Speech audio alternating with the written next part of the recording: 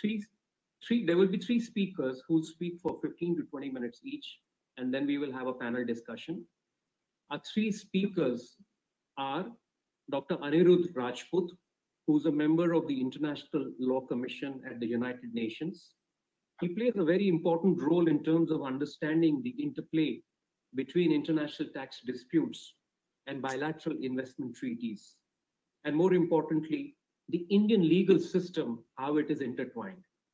Thereafter, we will have Ms. Anuradha Dutt, managing partner and senior partner at DMD Advocates, the person who is responsible for taking or steering Vodafone through the dispute for over a decade.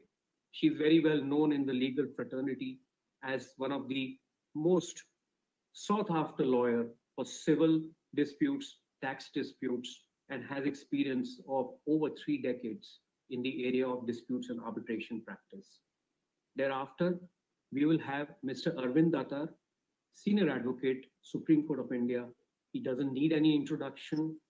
He has overseen disputes in the area of constitutional law, direct taxes, indirect taxes, company law, so on and so forth. So without much ado, we will have these three speakers speak first. Thereafter, we are going to have two more panelists join us. And those panelists are Dr. Błażej Kuźniacki. He is a deputy director with Pricewaterhouse Polish practice to look after tax disputes and strategic tax advice.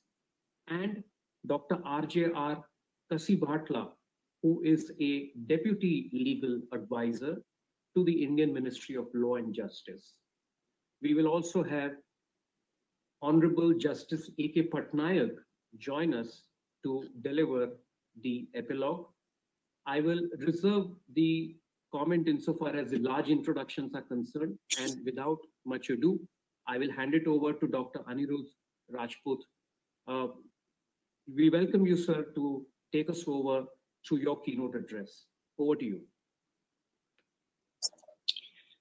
Thank you very much, uh, Mr. Butani. Let me begin by thanking the International Fiscal Association, all its office bearers, you, Mr. Butani in particular, and and and young and dynamic uh, Ms. Ishita Farsaya, who probably was instrumental in, in, in getting me involved in this uh. It's a great pleasure to be here, to be a part of this distinguished panel who are not only good about the theory of the law, but have seen the functioning of the law in close quarters. My task today in the next 15 to 20 minutes is try to set the scene of how the regime of investment treaty arbitration functions and how and to what extent it overlaps with international tax law. And then I'm sure the other speakers will speak to more specific instance that we all are here to discuss and contemplate about. I wish to begin by saying that the way in which public international law has been transformed by investment treaty arbitration is simply phenomenal. I say that because if we were having this conversation, say around 25 years back, prior to the accidental emergence of investment arbitration, because investment arbitration emerged actually as an accident when not many people knew how to invoke these investment treaties. Until that point, it was always fairly understood that matters of fiscal administration, particularly tax, and other broader issues of monetary policy were exclusively within the domain of states. Those were sovereign prerogatives, and these prerogatives were not to be touched. The regime of protection of individuals prior to the coming of the BITs or prior to the regime of investment treaty arbitration was, was under the domain of, as we understood, as customary international law. Customary international law provided limited rights to individuals, and those light rights were dependent upon their home state that is the state to which they belonged, invoking those rights on behalf of them. In fact, this theory comes from classical Roman law. The idea was a Roman citizen can roam around the world without fear of anybody, because if anybody touches him or her, the whole Roman Empire would come to his or her rescue.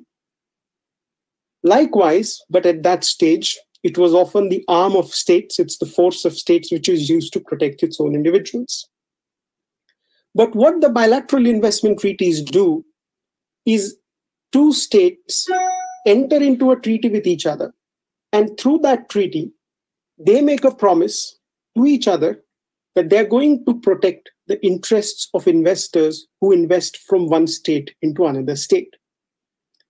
So the interesting part is that the promise is not made by the state to the investor, but a promise is made by the state to another state that it is going to protect the investor who comes from the other state.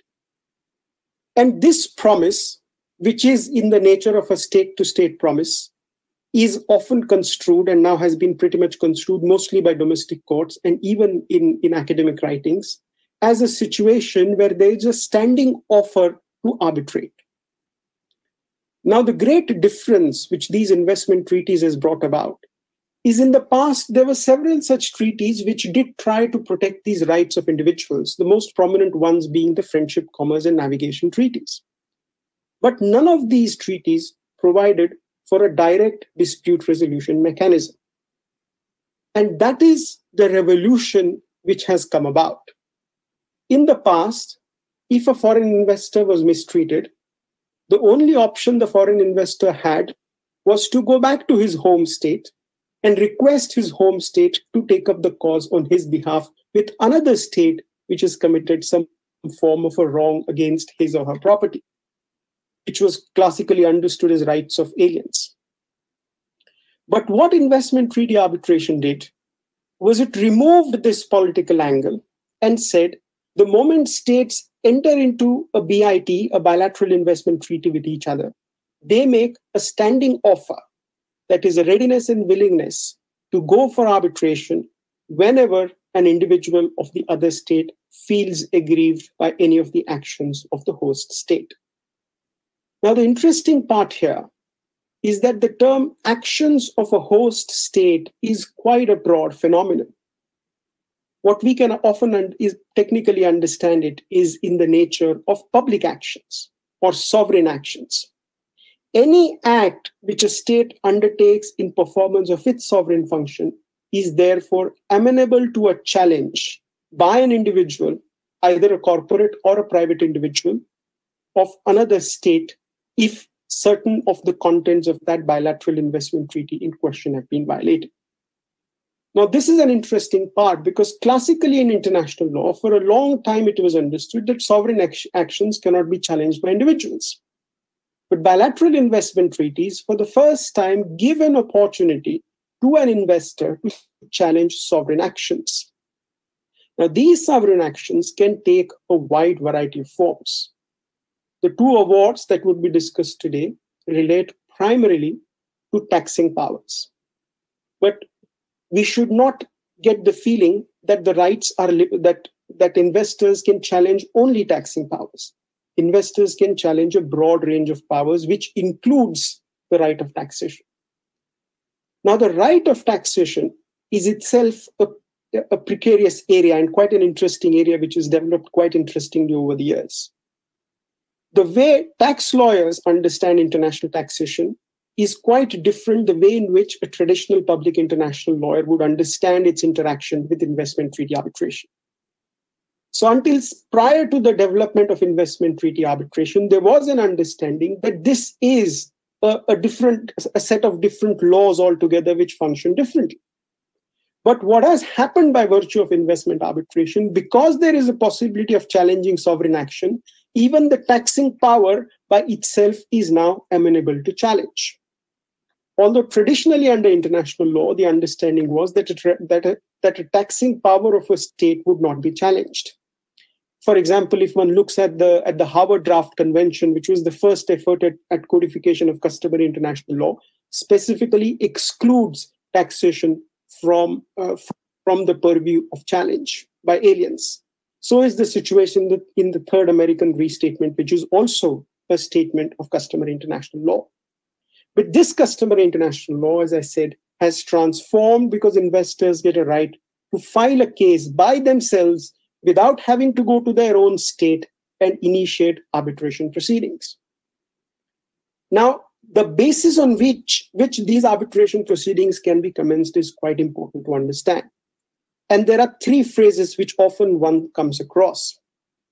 One is a BIT, second an FTA, and third is a model BIT. There is a lot of debate which happens around the Indian model BIT. We need to understand, and there are model BITs of several countries. A model bilateral investment treaty is a non binding instrument. It is only an offer, it is only a draft based on which a state wants to negotiate its bilateral investment treaty. It certainly represents how a state thinks about rights and obligations of investors, but a model bilateral investment treaty is simply a model, it is not a binding instrument. So our starting point ought to be either a bilateral investment treaty or a free trade agreement. As the name suggests, a bilateral investment treaty is a treaty which deals exclusively with issues of investment and normally entered between two states. A free trade agreement is quite distinct from a bilateral investment treaty in the sense that it has a broader scope. It is often in the nature of trade which involves several aspects of trade. For example, there could be issues of services, there could be issues of goods, and many other things which states may want to negotiate. And from this broad array of subject matters which are covered, one of the areas that are covered is investment. So it's quite possible that these proceedings might be initiated under a free trade agreement or under a bilateral investment treaty. Well, if one looks at the substance of these two treaties, there tends to be quite a bit of difference because of the scope of activity which is governed by these two kinds of treaties. Now, having given this background that now taxing powers which were otherwise not challengeable now are now challengeable, but the question is who can challenge it and on what grounds? The answer to the question who is often what is called a jurisdictional question. For a bilateral investment treaty to be invoked or a free trade agreement which has an investment chapter to be invoked, it is necessary that an international tribunal to whom an investor wishes to go has jurisdiction. As I made a point some time back, I need to re emphasize it that these investment treaties contain a dispute resolution clause, unlike the prior treaties which did not contain a dispute resolution clause. And this dispute resolution clause gives a right to an investor to file a case directly against the state concerned, against its actions, including taxing powers. But as I said, it may include several other powers, not just taxing powers. Now, who could be that investor? As I explained, these treaties are normally between two states. And it is a promise from invest from the, the state from the first state that whoever is the investor from the second state, I'm going to accord certain protection to the investor who comes from this second state. Now, in order to invoke, in order to be eligible to invoke a certain investment treaty, you need to have the tribunal needs to find out whether the person is entitled. And that entitlement is often called the ratione personae jurisdiction. Ratione personae jurisdiction is whether the person is entitled to do it. And the fact of this entitlement arises from the fact of whether that investor be- belongs to the, to the other state apart from the state which it wants to challenge. So, for example, there is a bilateral investment treaty between states A and B, investors from state A can sue state B, but investors from state A cannot sue their own state. There always has to be a cross. Now, the question is when the investor from state A wishes to sue state B, the question is who ought to be that investor? The question is fairly straightforward answer if that an investor in state A is an individual. We know we can look up his nationality. There are issues of dual nationality, but I won't get into it. What you might be interested more being tax lawyers is a corporate entity. And there's always a question of what is the nature of a corporate entity, which would be the nationality.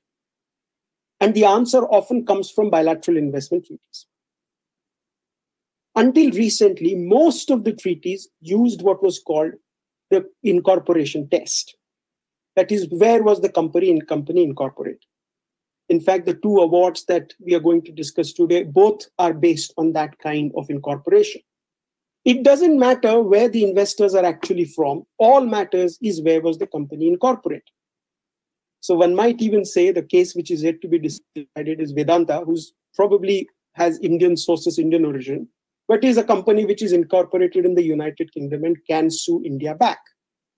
In fact, one of the first cases this issue was hotly contested was Tokios Tokelės versus Ukraine, where the then uh, one of the arbitrators wrote a very severe dissent criticizing the majority. But what the majority said was all that matters is where is the company incorporated. Because in that case, the company had 90% shareholders from UK, Ukraine, who were trying to sue Ukraine back a treaty which through a company which they had incor- incorporated in another state. Now, this is often called round tripping. You incorporate a company somewhere else, the shareholders are actually from, from the home state, but by incorporating a company, you try to sue your own state back. This is quite rare. But what often happens is because there is a labyrinth of these treaties. There is a there is a broad arrangement of these bilateral investment treaties, often called as spaghetti bowl. They are so interlinked.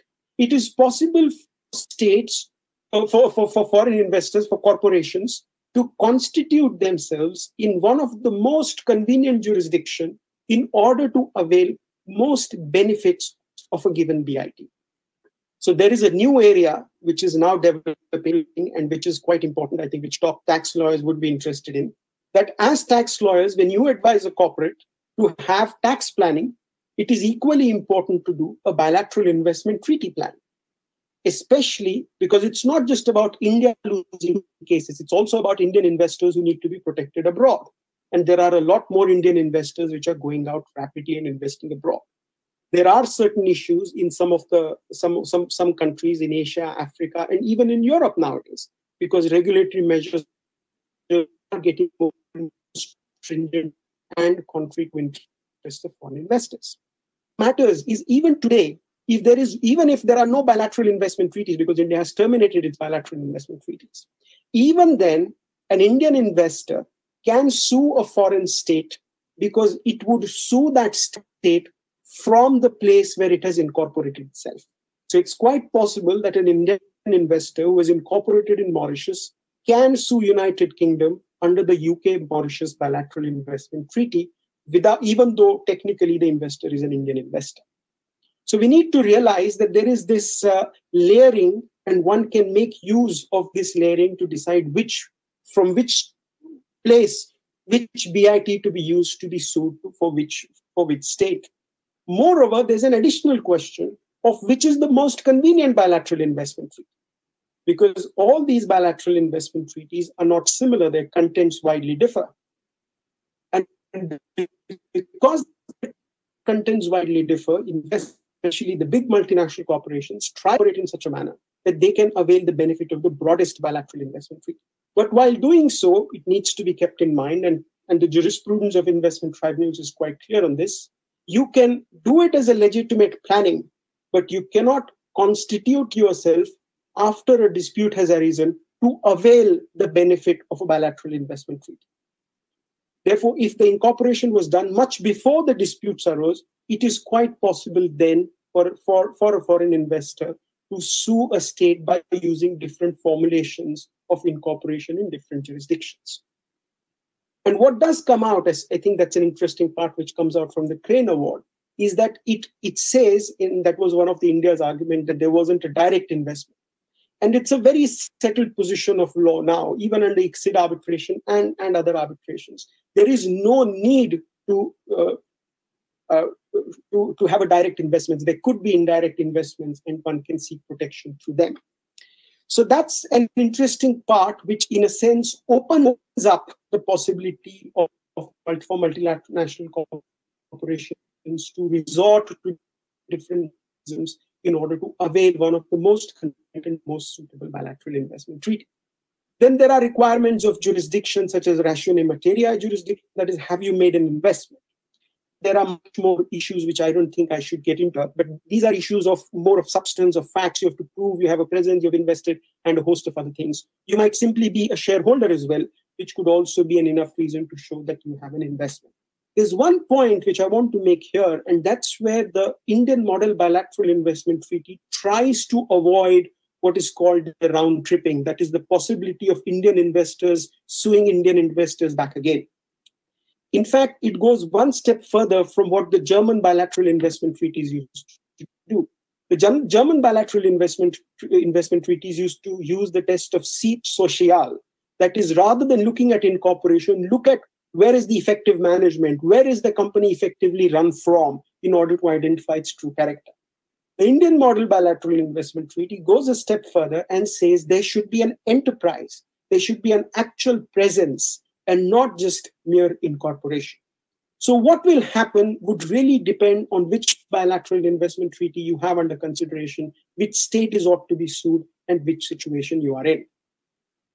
Then, as I said, you have to establish that there are substantive uh, investments which are made. Then, let me briefly touch upon what are the treatment standards so that I don't go too much beyond my allotted time. There are several treatment standards, and these treatment standards would change from one treaty to another. But there are certain standard standards which are which are normal and can be found in most of the bilateral investment treaties.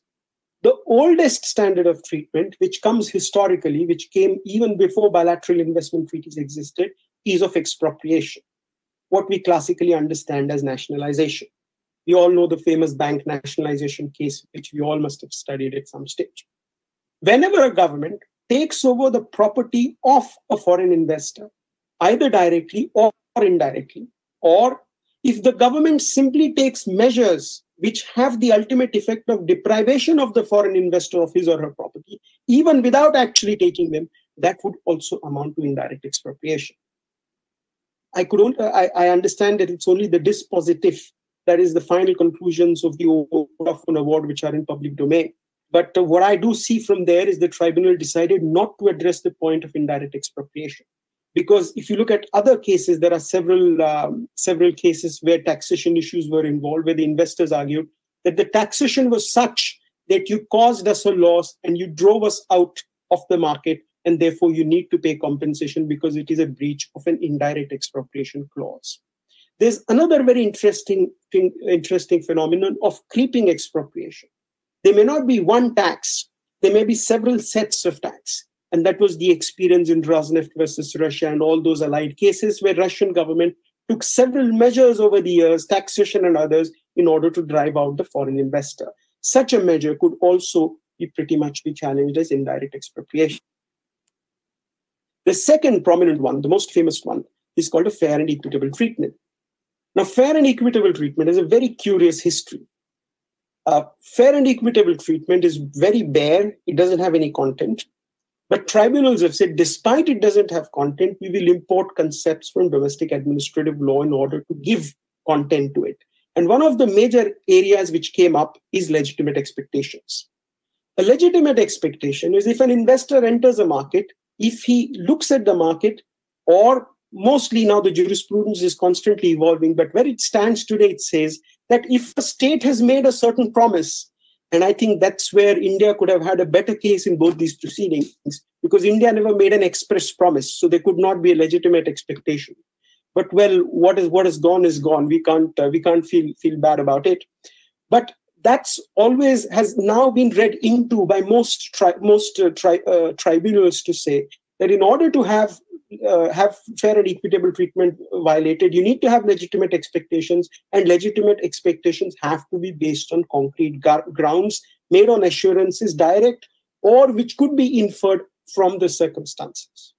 And there are several other aspects of, of fair and equitable treatment in the form of due process. You have to, you need not give a hearing all the time, but bare requirements of, of, of natural justice have to be complied with you need not you also have to be reasonable. You cannot be arbitrary. Behind whatever measures you take. It's also one of the ways in which foreign investors can can can go to a tribunal and say that the governmental measure contravenes their fair and uh, their fair and equitable treatment standard expectations. And in practice what we find is most of the of the cases where investors win, mostly they win on the fair and equitable treatment standard because it is the most easiest to meet. The other associated standard is the full protection and security standard. This is again a classically international law, classical international law standard. But this standard is more about physical protection rather than an assurance of due process, which is the hallmark of fair and equitable treatment. Although there are several tribunals which hold that fair and full protection and security is much broader, it also includes protection of the legal framework. But there's a large majority of tribunals who do not agree with this viewpoint. So it's equally important in these disputes who you appoint as an arbitrator because it's the arbitrator's orientation that is going to decide what is going to be the ultimate outcome of this of, of these disputes. The next standard after full protection and security, which is often prevalent, is the most favored nation treatment and the national treatment standard. And I think as tax lawyers, you all must have been exposed to this at several occasions. In simple words, national treatment is where uh, if a state discriminates between a national foreign investor and a foreign and a foreign investor, then that would be breach of its national treatment obligations. And most favored nation treatment standard would be breached if lesser treatment is given to one foreign investor as compared to some other foreign investor. There's several issues of most favored nation treatment clauses. In fact, most favored nation treatment clauses have been used to import better provisions from other bilateral investment treaties, which was done in, in the first case that India ever lost in White Industries versus Australia. But that's a big topic, and I don't think uh, you all may be interested in how the substantive issues of uh, that importation through most favored nation treatment clause works. But apart from these standards, there can be several other smaller, there's often uh, arbitrary uh, unreasonableness standard. A state should not behave arbitrarily or unreasonably. There's also something called the umbrella clause. Now, umbrella clause is quite peculiar. I said before that under investment arbitration, you can only challenge sovereign actions. You cannot challenge contractual actions because contractual actions will contain their own dispute resolution clause. But some tribunals have used mostly, in, if you look at the early clauses in any bilateral investment treaties, it contains the provision of promise to give highest standards of protection. And this has been used to interpret to mean that contractual disputes can also be elevated to treaty disputes and can be brought before investment tribunals. But there again, there's a chasm, there's a cleavage, there's a difference of views between different tribunals. And all these uh, standards, you you all you have to do is basically win on one of these standards. You need not win on all of those standards. Even if you succeed on one of the standard you have won the case for the foreign investor. And that's what has happened probably in both these awards which would be discussed today. The tribunal didn't find the need to address other standards. What could a state do in these situations? A state might often raise a defense of regulatory freedom saying that the measure I, I undertook was to protect my public in national interest and give sufficient reasons for that. And that's where the tricky question is where do taxing powers reside? Is the matter of taxing power within the jurisdictional aspect or a substantive defense? In both these cases, India argued it as a jurisdictional saying these cannot arbitrate they're outside the purview probably more to it to argue that it's also a substantive reservation. If one looks at the Indian Model Bilateral Investment Treaty, in particular paragraph 2 and 2.4, it excludes taxation from disputes, which means such taxation measures cannot be challenged because a tribunal would not have the competence to do that. Some Indian BITs, which are now lapsed, do that, but most of them don't do that. But if you look at that world over, they do include these provisions. But often in the indirect expropriation clause, while describing regulatory freedom, several bilateral investment treaties also contain a taxing exception. And whenever such a taxing exception is contained, it would be a substantive defense and not just a jurisdictional defense, which would come before. So, this is a broad journey of, of, of how investment uh, treaty arbitration functions. When can an investor file a case? On what basis he or she can file a case. Now, the last point I think which I should make and stop because I'm probably going over my time is what is the relief that an investor can claim? This has been, this is now fairly settled in international law and particularly in investment arbitration disputes that the dispute would primarily be monetary in nature. In other cases, there is was a possibility of restitution, that is, there would be some sort of an injunction. For example, at the World Trade Organization, the panels and the appellate body of the WTO issue injunctions saying government should remove the measure. So let us say if this was a dispute where, uh, and it's quite possible these disputes could be brought even at the WTO, but not by the investor, by the home state. That is, it's possible that United Kingdom might sue India saying your retrospective tax an import tax. The consequence would be uh, government of India would have been asked by the WTO to withdraw the tax and not to pay compensation. But investment treaties don't do that because arbitrators and are, don't find themselves doing it. Rightly so, because this issues raises serious issues of legitimacy problems for the system because the system is already go, undergoing a lot of stress and strain and the and members want to be careful about the sense, sovereign sensitivities. So all they end up doing often is about awarding compensation. So that's what something an a foreign investor can look at. If you look at the whole scenario, it is transforming quite rapidly. It has transformed uh, over the years, and there's always a tough challenge for a state as well as as foreign investors. And that's something which I think the government of India would be pondering quite deeply. On the one hand, where it is getting, getting sued by these foreign investors, it also needs to be careful that its own investors are being protected abroad. As I said, even though to, today Indian treaties are terminated, nevertheless, Indian investors can resort to other investment treaties by, by smart restructuring. But if India also thinks of of a, of a more detailed policy of trying to balance out when and how to, to undertake these steps and when and how to allow structuring and restructuring and what should be the policy in relation to states from where India is expecting investment and states where India wants to invest. That could also be something that the policymakers can reflect upon. I hope this was uh, a not too de- uh, was was a sufficiently detailed and sufficiently thought-provoking uh, uh, uh, tour of, of what investment treaty arbitration is all about. I very much look forward to listening to other speakers and any questions or comments that you have in, in the course of these proceedings. Thank you very much. Uh, thank you, Dr. Rajput. Uh, I'm sure we will have uh, lots of questions. just for everyone's benefit, Dr. Rajput practiced in the Supreme Court of India and is currently practicing international law and arbitration in his capacity as a consultant with Withers LLP.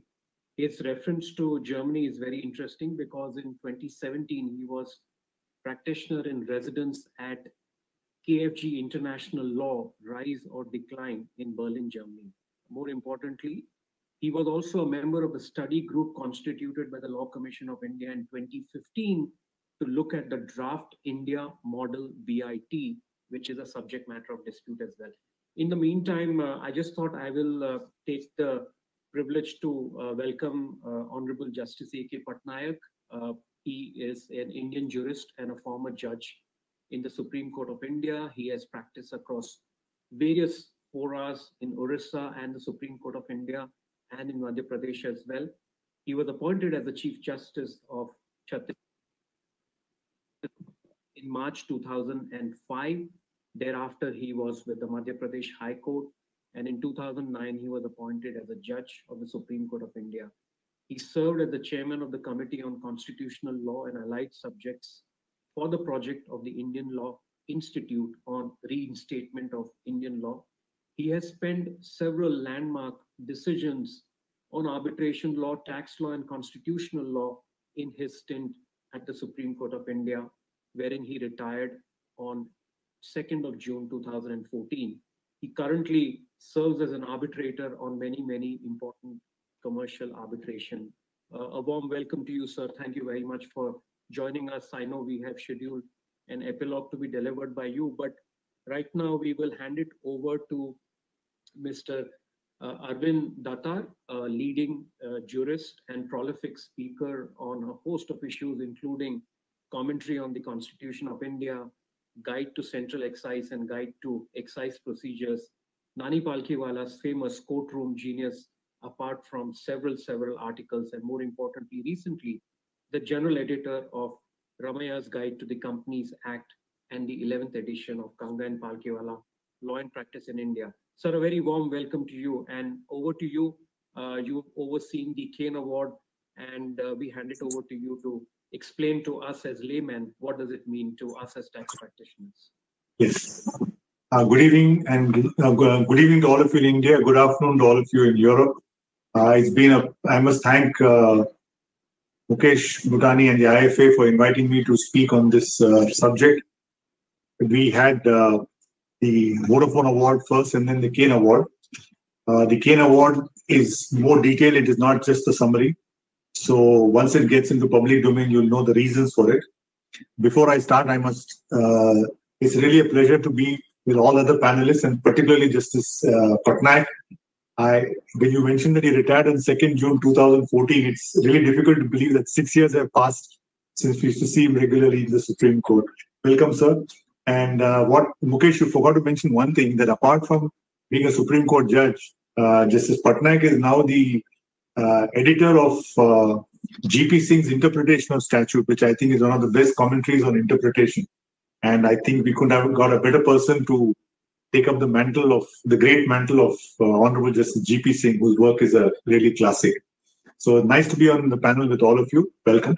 Uh, I must thank Dr. Rajput for giving a very, very detailed and a excellent presentation on an overview of the bilateral investment treaty ecosystem as he rightly put it, uh, 25 years ago, I, I mean, the uh, BIT arbitration was something outside the legal solar system. I didn't know what it meant. And ICSID and so on and so forth were complete, literally Latin and Greek to all of us. But over the years, after White Industries, uh, the interest in this subject has developed. And now, with these two major awards, it has become a very important topic for all of us to ponder. As a person who had the opportunity of appearing before Cairn, it's I just uh, be brief because we're running over time. One was what was the prelude to these awards, both for Vodafone and Cairn? What was the award per se? And this current dispute about the sovereign right to tax and BIT. So how do we reconcile all these problems? First of all, the prelude to the award was the entire proceeding started because of the Vodafone Amendment, as popularly called the 2012 Finance Act as all of you know, and Anuradha Dutt was mainly instrumental with Mr. Salve and so on for getting this decision on January 12, 2012, where the Supreme Court held that if the shares are owned by non-residents and they are transferred overseas, then even though the underlying assets may be in India, there is no transfer in India and no question of any capital gains arises in that particular transaction. Uh, they overruled the Bombay High Court. The Bombay High Court partly allowed the matter, they did hold that shares which are overseas are not Indian shares, but they said that part of the profits would be taxable in India. But the Supreme Court said no. They said you don't have to look through, you must only look at, and so on and so forth. That she'll explain more in detail. Now, I was really hoping that this landmark decision by Honorable Justice Kapadia, Justice Radhakrishnan, and Justice Swatanter Kumar was an internationally sensational decision. And I think it portrayed India as a country where rule of law prevailed that it didn't really matter whether your investments were 40,000 crores or 500 crores, the law was the same. And I was worried that this important judgment would be overturned by a retrospective amendment because we did have a history of any important decision going in favor of the assessee being retrospectively amended, not only in uh, indirect taxes, but indirect taxes as well. So, as bad luck would have it, in the coming budget, there were a number of amendments and they went back, they were made with effect from 1 4 1962, particularly amendments to Section 9 and Section 195 of the Income Tax Act dealing with taxation of non residents. Once these uh, laws were retrospectively amended, I mean, you can correctly characterize them as retroactive amendments and not just retrospective. It became clear that transactions made in 2006 for Cairn and I think 2007 for Vodafone, which were not taxable at that point of time. And in Vodafone, up to the Supreme Court, it was held it is not taxable. Suddenly became taxable in 2012. As far as Cairn is concerned, we got the assessment in 2014, where uh, retrospectively tax was levied. And what was also unfortunate was not only the tax was levied, but also it was interest and penalty. A transaction which was not taxable at all in 2006 suddenly became taxable in 2014 and it was subject to interest and penalty. Now I'll come to the sovereign right of retrospective taxation. There is no dispute that India has a sovereign right to tax, but I'll come to that later. Now, as far as uh, Vodafone is concerned, they didn't have any assessment. They went right up to the Supreme Court and they succeeded. But as far as Cairn is concerned, we have an assessment, we have a tri- order, we have a order before the uh, an order of the tribunal, and now it's pending before the Delhi High Court on the merits of the matter. Separately, the As the claimant, invoked the arbitration clause under Article 9 of the India UK Treaty, which was signed in March 1994. And Article 9 actually contemplates an initial negotiation, then a conciliation, and then an arbitration. But I think I came in late on the scene, so I think they straight they went straight away for arbitration. As you know, the unfortunately India did not appoint the arbitrator immediately, so the president of the Permanent Court of Arbitration at The Hague, they appointed Mr. Thomas for the Union of India. And we did have a wonderful panel of arbitrators. It was truly international. The chairman was a Swiss national. The one arbitrator was Bulgarian and the other was Canadian. And uh, those of you who will see the award later will notice that there's been a very, very nuanced and fine distinction on tax avoidance, on the merits of the Azadi Bachao Andolan, tax avoidance, tax evasion, the principles of rule of law, and so on. Without going into great detail because of shortage of time, the claim was made that the retrospective taxation or the retroactive taxation violated Article 3, violated Article 3, Clause 2, which says, which is what uh, Dr. Rajput said is the fair and equitable treatment clause. It's very simple. It simply says that the investment shall be treated fairly and equitably. They also questioned, uh, they also challenged it on the ground of violation of Article 5 because of that's the expropriation clause because shares of Cairn were taken away and sold. And they also challenged on Article 7, that is the prevention of the investments going back freely. So these three challenges were made and ultimately were upheld, and uh, damages of $1.2 billion were awarded. If I were asked to summarize the award in just few sentences, I would say that the tribunal held that retrospective taxation is directly a violation of Article 3 and violates the FET clause. It held that retrospective taxation violates the principle of legal certainty. There is a very good discussion on what's the meaning of rule of law in terms of the UN United Nations resolution, in terms of the Venice Commission, and in terms of international law. What are the five or seven principles of the rule of law? And for our discussion, one important thing which the tribunal relied upon is legal certainty. They said that when you make an investment and you know that these transactions are not taxable as on the applicable date, then to tax them retrospectively would be violation of the rule of law. Significantly, the tribunal relied on Indian Supreme Court decisions to say that this is the law in India. In the Vodafone case, para 91 says that legal certainty is a central pillar of the rule of law. And they quoted Justice Sikri in the Vatika Township case, who said that the law should be always prospective and not retrospective. And the essential principle of the rule of law is that law should not be retrospective. So ultimately, the award went against India, primarily, almost exclusively on the ground of the retrospective nature of the. And the tribunal notes that this is perhaps the first time that they had occasion to do retroactive taxation there was a case against Jordan where there was a retrospective amendment on setting aside arbitration awards or arbitration agreements retrospectively. But the tribunal observes that this was perhaps the only case where there was retroactive taxation and it came up for the first time. I'll just mention one point, one interesting case which we relied on is the Paushok versus Mongolia, which now I'll come to this aspect of sovereign right of taxation. Nobody disputes that there is a sovereign right of taxation every international tribunal has said that there is a sovereign right of taxation. And Błażej and I uh, were also will mention that there's an excellent article by Julien Chaisse, who has analyzed international arbitrations involving tax problems, tax disputes, international treaty arbitrations involving tax disputes. And the author sets out 32 disputes. And it will be interesting to note that in 17 disputes, the state has succeeded, and in 15 disputes, the claimant or the assessee has succeeded. So there is an even balance. So there is no, you can't say that the tribunals are biased biased towards the st- the assessees and not towards the states and so on. The awards are. And if you see some of the uh, awards, particularly in the case of Russia and so on, the Yukos case and so on, the retrospective, the, I mean, the tax changes were quite egregious. Now, coming to the retrospective aspect, is that in Paushok versus Mongolia, there were a bunch of Russian investors in Mongolia, and Mongolia has a large amount of gold reserves.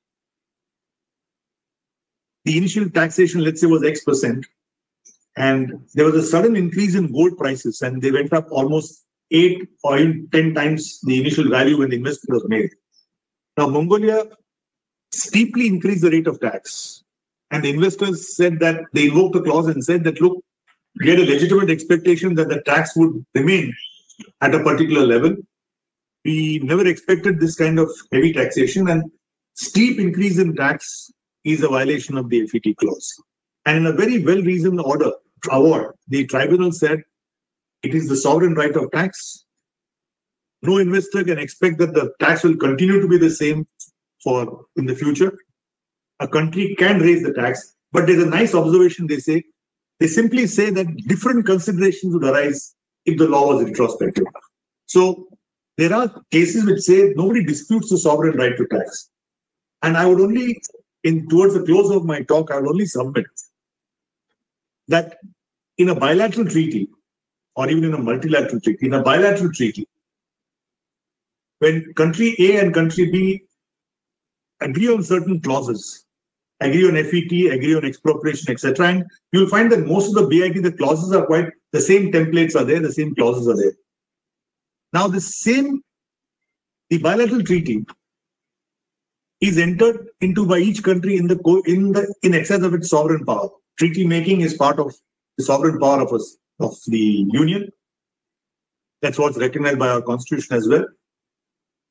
And it's my humble view that signing of a treaty and agreeing on certain limitations, agreeing that I will protect, I will ensure that the investment of the other country, other investor is protected. I will ensure that there is fair and equitable treatment, that there is no expropriation, there's free movement of investments. This is a sovereign concession made. And every time you sign a treaty, it is my submission, and I would throw it for discussion as well, that signing of a treaty itself is a partial surrender of your sovereignty for mutual benefit. After all, if you see the treaty, what does it say? It is for promotion of investment, protection of investment, and fostering greater further investment. So you say that, look, you come to my country, make your investments, whatever income you earn here will be taxed fairly and equitably. So this is the promise I make. And when people tell me about the sovereign tax in the context of the present case, I just ask them, just flip the case.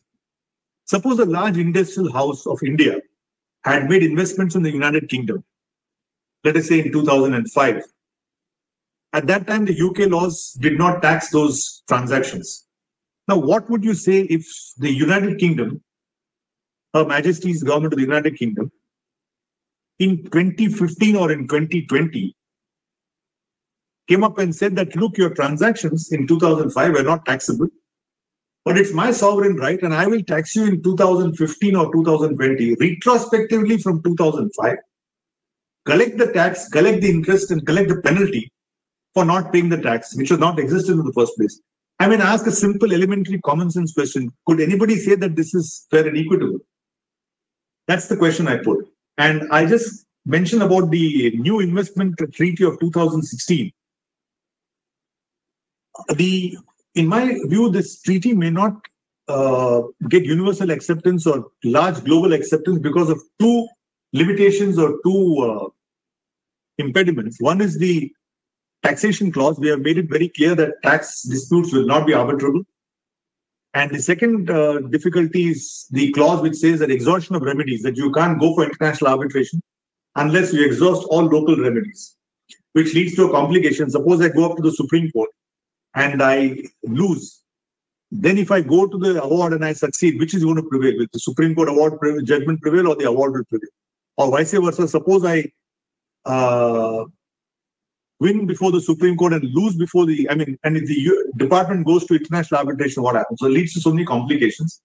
But I'm told that except Belize and a few countries, nobody has accepted, nobody has signed these awards.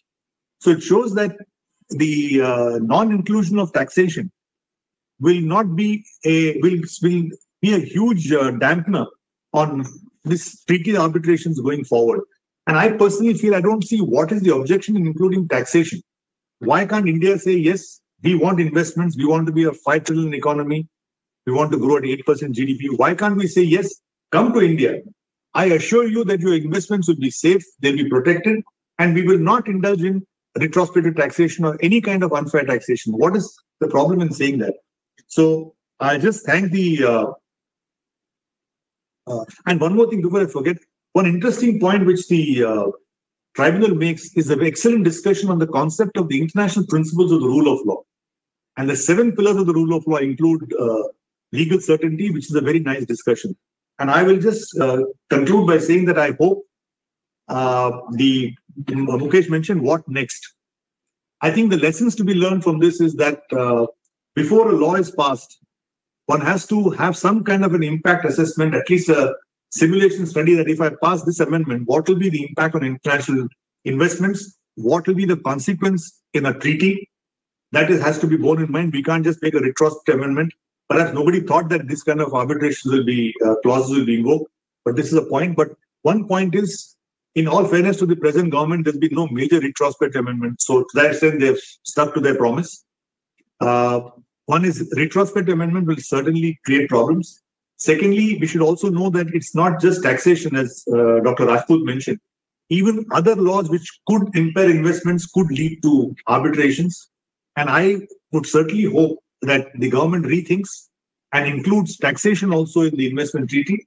We want more investments, and we should have investments which are on par with most of the other countries in the world. If you are to be, we are now the fifth largest economy.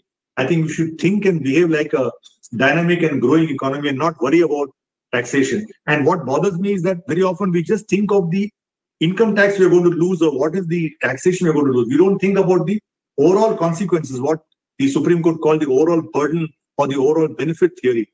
That by allowing these investments, we may give up some taxation, some taxes, but what is the overall benefit to the economy is what we should keep in mind. Thank you so much to the organizers, and I look forward to listening to all of the other speakers as well. Thank you, Mukesh. Thank you, Mr. Datar. Uh, before I hand it over uh, to Ms. Anuradha Dutt, uh, Ms. Anuradha uh, to take her take us through the Vodafone, um, uh, you know, saga, if I may say so. Uh, but more importantly, the conviction that she had to invoke the bilateral investment treaty uh, and not opting out for challenging the uh, retrospective amendment. Just very briefly about her, she is uh, earned her LLM from the Columbia University, uh, and after graduating from the New Delhi Law Faculty, she is amongst the most sought after lawyer with significant experience in civil, commercial, corporate litigation. She has extensive experience on international arbitration, particularly in relation to the BITs, and has also handled complex matters across multiple jurisdictions in the UK, United States, Singapore, Europe, in host of factors. She also sits on the boards of many, many Indian companies. Uh, personally, uh, Anu, I'm delighted to welcome you because I know it's not easy to get you other than on the television, but uh, welcome to uh, the IFA platform. Thank you very much for joining us. Thank you, Mukesh. And uh, I can assure you, if you had not reached out, I may not have accepted. So uh, thanks. And thanks to IFA India chapter of Thinking of Me. Uh, I was involved uh, in Vodafone case from, I think, 2008 or so. And, uh, you know, when we succeeded in Supreme Court, we really believed that a transaction that was concluded outside India money paid outside India, no presence in India, is not taxable. And for the first time, and it's not that you know such transactions hadn't taken place but probably the the money, the quantum involved opened, uh, you know, the tax office eyes. I, I don't blame them, but uh, that's how it was. And when we succeeded, we were so elated that, you know, the advice given by tax lawyers, by us, you know, proved to be right. But I still remember in March when the budget came, uh, it was in the fine print, it was not in the budget speech. I didn't sleep the whole night. I felt like, I used to say, like Ben Johnson, you know, who ran the race in Olympics in 1988 or 89. And he was given the gold medal, and then it was taken away from him because of some drug charge, drug abuse charge. So I really felt like that. Uh, but, you know, I, as you're aware, the award, the proceedings, the challenge, these are confidential, unlike uh, Cairn Award, which has come in the public domain. Vodafone is confidential. So I can't really talk about the award, but I would like to say a few things, including on uh, sovereign sovereign power, so to say, of the gov- state to tax. Uh, first thing uh, that you asked me, how is it that Vodafone decided not to challenge in India, but uh, invoke the bilateral investment treaty between Netherlands and uh, India? So it was a tough decision, but when we, you know, when we saw the retrospective amendment taking us back to 1962, and that too to a closed transaction. You know, the Supreme Court said that this is a policy decision. If you want to tax where the effect is in India or where the control changes to tax, but in future. And government then, you know, takes a volte-face and uh, goes and reopens our closed transaction where the entire money uh, consideration had been given to uh, Hutchison. And Hutchison, surprisingly, government of India never went after him at that time. So we had two thought processes. One was you have to know that Vodafone doesn't have any Indian shareholder. So to go and challenge under the Constitution, Article 19 is ruled out. And most of the judgments are under Article 19, that is freedom of uh, to carry on business. That's where most uh, challenges have been upheld by courts in India. And second, if I challenge and I succeed, what prevents India from coming back with another retrospective amendment? So, you know, keeping these factors in mind, and white industries had just taken place, uh, we decided that we will go the BIT route. Now, the question that arises is we did study uh, the Netherlands India Treaty and we felt that fair and equitable clause, expropriation clause, did uh, help Vodafone to, you know, to succeed in this case. And that's how we invoked. Now, uh, I, I have to say that there has been a lot of talk recently of sovereign power to tax. Yes, there is a sovereign power to tax, but I want to bring into focus what is the change that Indian government has had from prior to 2007-8 and post 2007-8. To my mind, when we opened up in 1991, we opened up the country for various reasons. We were very keen to build our country into a foreign direct investment destination. It was quite, uh, it was very common at that time that you enter into bilateral investment treaties with other countries where you, as uh, Mr. Datar correctly said, you subject certain powers to the treaty and say that I do have sovereign power to do X, Y, Z, including tax, but I will do it in a manner that I don't impinge upon the guarantees given to the foreign investor under the treaties. According to me, there is a change after 2007 8 in our political thinking.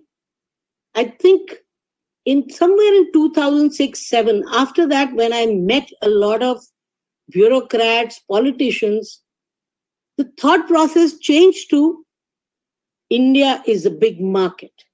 And therefore, we can do what we are doing, and every foreign direct investor will come here, pay retrospective amendment or any amendment that we say, and or you know bring about any laws because they can't afford to overlook the Indian market.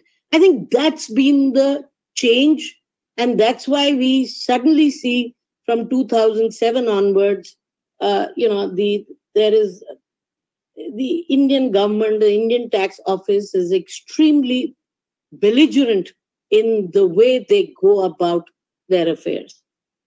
Now, I would also like to address what Mr. Datar said that, you know, when two countries come together to uh, sign a, a, a treaty, they are somewhat subjecting their sovereign powers in every sphere. Now, I would give a very easy example of International Court of Justice. Look at the Jadhav case. Jadhav is somebody which Pakistan is trying through their internal mechanics.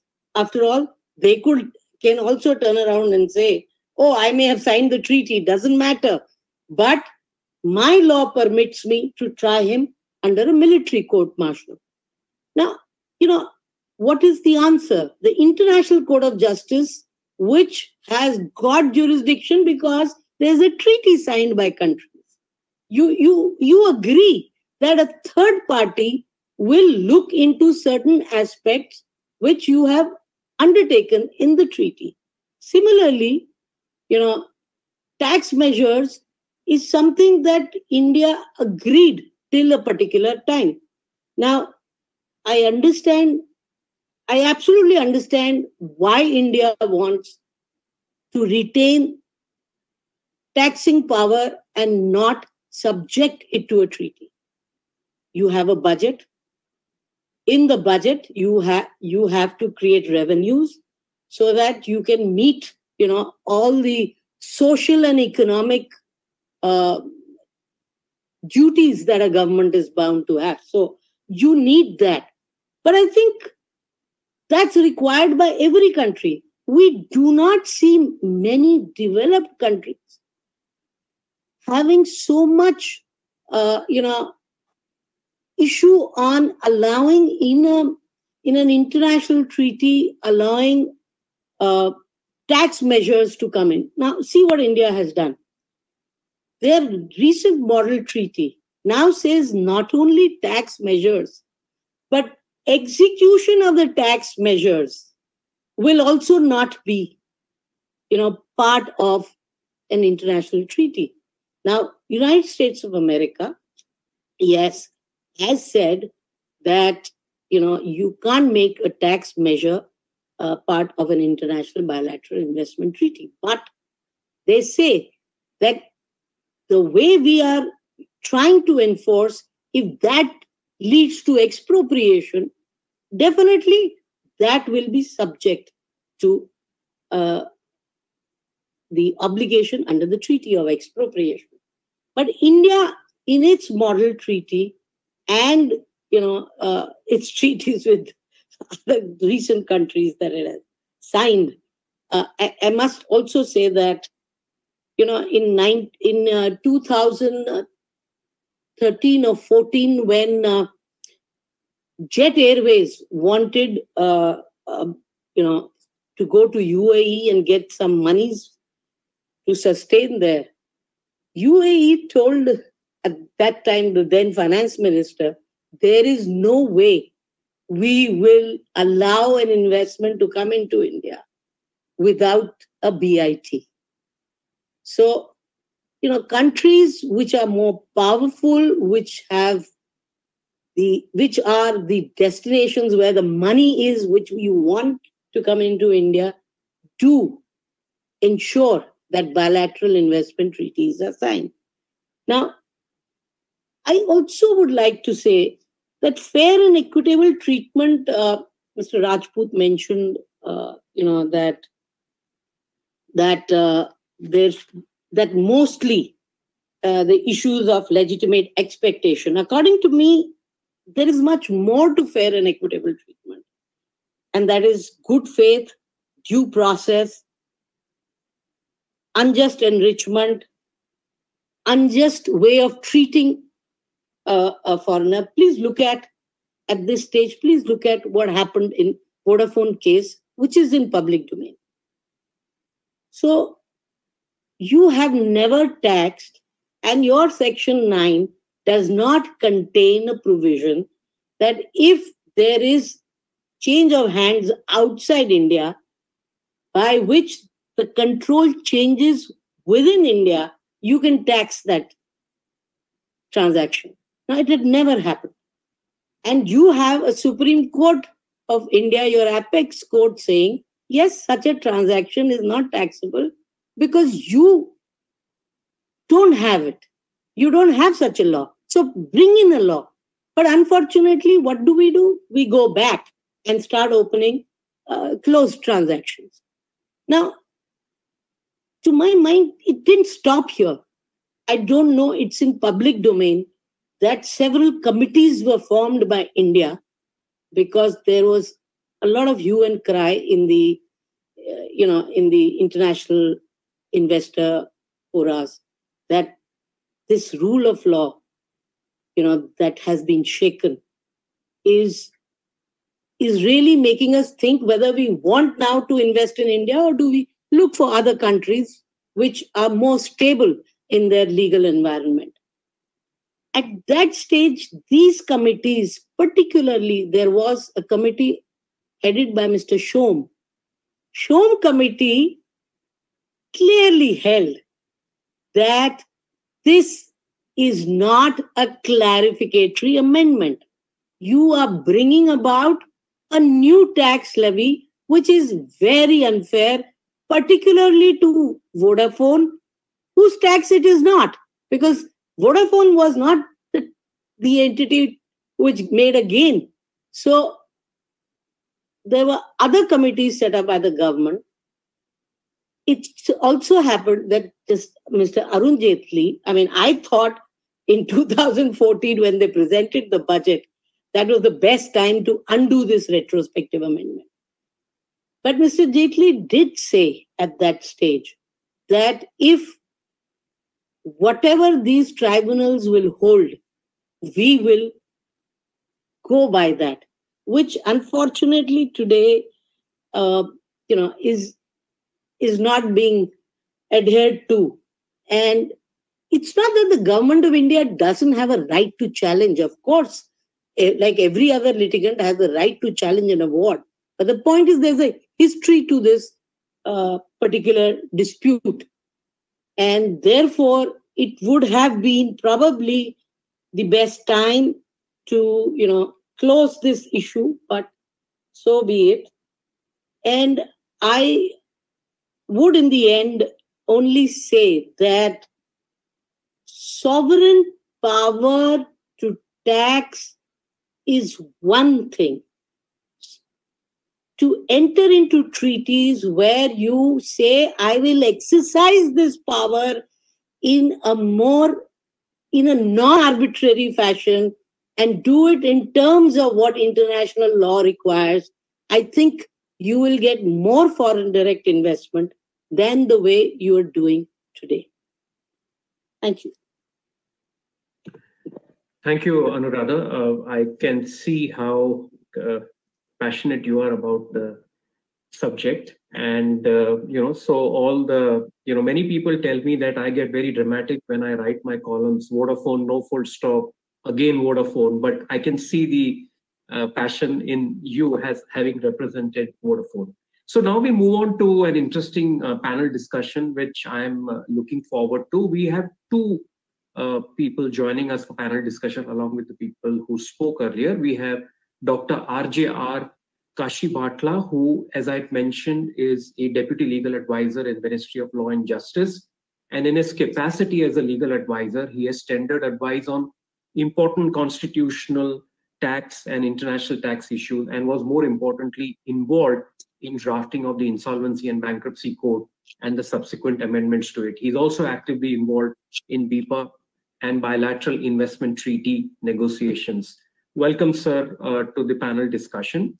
We also have Dr. Błażej Kuźniacki, who is the Deputy Director, Strategic Tax Advice and Dispute Resolution with PricewaterhouseCoopers in Poland. He is, or he was an academic until recently. Now he's an academic tax practitioner and an attorney at law. I owe a lot to Błażej. I take the liberty to call him by his first name because he has contributed to my treatise on general anti-avoidance. Welcome, Błażej, to IFA India. I know you have very active with IFA in Europe, but welcome to the panel discussion. So with that, uh, let's move to uh, our questions and let's allow uh, people who have not spoken uh, to uh, talk about it. Uh, uh, Błażej, fair and equitable treatment, you heard the Indian speakers. Now, I know that you have lots of other cases, particularly the Yukos case, uh, the European food case of the European Commission. Uh, I wanted you to focus on the cases abroad, and more importantly, do you see impact of these rulings on the Indian policy? I was just wondering if you can also touch base on what the, uh, Mr. Datar talked about uh, uh, Mr. Chaisse's observation, and more importantly, the platform for collaboration of tax, uh, which is now uh, a joint project or a toolkit by the IMF, OECD, and UN and World Bank Group of June 2020, which actually talks about taxation of offshore indirect transfers. So I was just wondering if in your opening you can cover these aspects. Thank you very much, Mukesh. It's a real uh, privilege to, to be with you uh, with this panel. Um, and the questions you, you, you raise actually are very uh, interesting. Maybe we could ask Mr. Anuradha to turn off the microphone because it's, it's uh, uh, okay, yes, thank you. So starting with fair and equitable treatment, I must admit that I uh, subscribe more to uh, Ms. Anuradha uh, points that this is uh, way more than just about uh, legitimate expectations. It, it is, I think, a, a broad clause that we can call a safety net clause in the in terms of in the way that if something regarding over aggressive taxation, so to speak, does not uh, enter the ambit of other protection clauses under investment treaties like expropriation, the prohibition of expropriation or discriminatory treatment, then uh, investors may turn their attention to uh, fair and equitable treatment uh, clause because it is not only about legitimate expectation but also about good faith, uh, fair and transpar- transparent proceedings, and um, a certain quality of the legis- legislation that we may expect in given uh, circumstances. I think that this is a, a lot about um, being treated by the host state in a way which is sufficiently transparent and predictable. Um, from the perspective of the European Court of Justice um, case law, before I jump to Yukos and other cases, I, I, I want to make a point which which might be interesting and uh, regards not only legal uh, certainty principle but also uh, the proportionality. Uh, if, if we look at certain uh, CJEU um, cases like Itelcar or SIAT, we, we will see that um, failing with legal certainty by EU member states may not be sufficient to say that the uh, domestic tax law or domestic law broadly speaking, of member state is um, contradictory to fundamental freedoms like the free freedom to um, freedom of establishment of business activity in other member state. But what we can deduct from the case law is that if if legal certainty is so low that uh, investors cannot predict the outcomes, the tax tax outcomes of their behavior of their transactions, then what happens is also uh, the impossibility to uh, say whether or not the tax treatment is proportional. Because if something is so uncertain that we cannot uh, define its borders, we cannot also say if, if something is proportional. So this is quite important under rule of law in, uh, in, the, uh, in the EU framework that too less legal certainty means that it's impossible to state about proportionality uh, and in the end the court will say that the law is in contradiction with the EU fundamental uh, freedoms. Um, and if we if we look at um, at the uh, taxation carve out clauses in, in certain bilateral investment treaties um, and at the real re- relevant uh, case law of arbitral tribunals, then we will see that the sovereignty uh, tax sovereignty uh, is not absolute. It has its borders. And if uh, a country, let's say India or China, uh, implement and uh, enforce their tax law in order to target specific investors, it, it means that such um, enforcement of tax law is not in good faith. It is actually in bad faith uh, it is arbitrary, uh, idiosyncratic, and so on and so forth.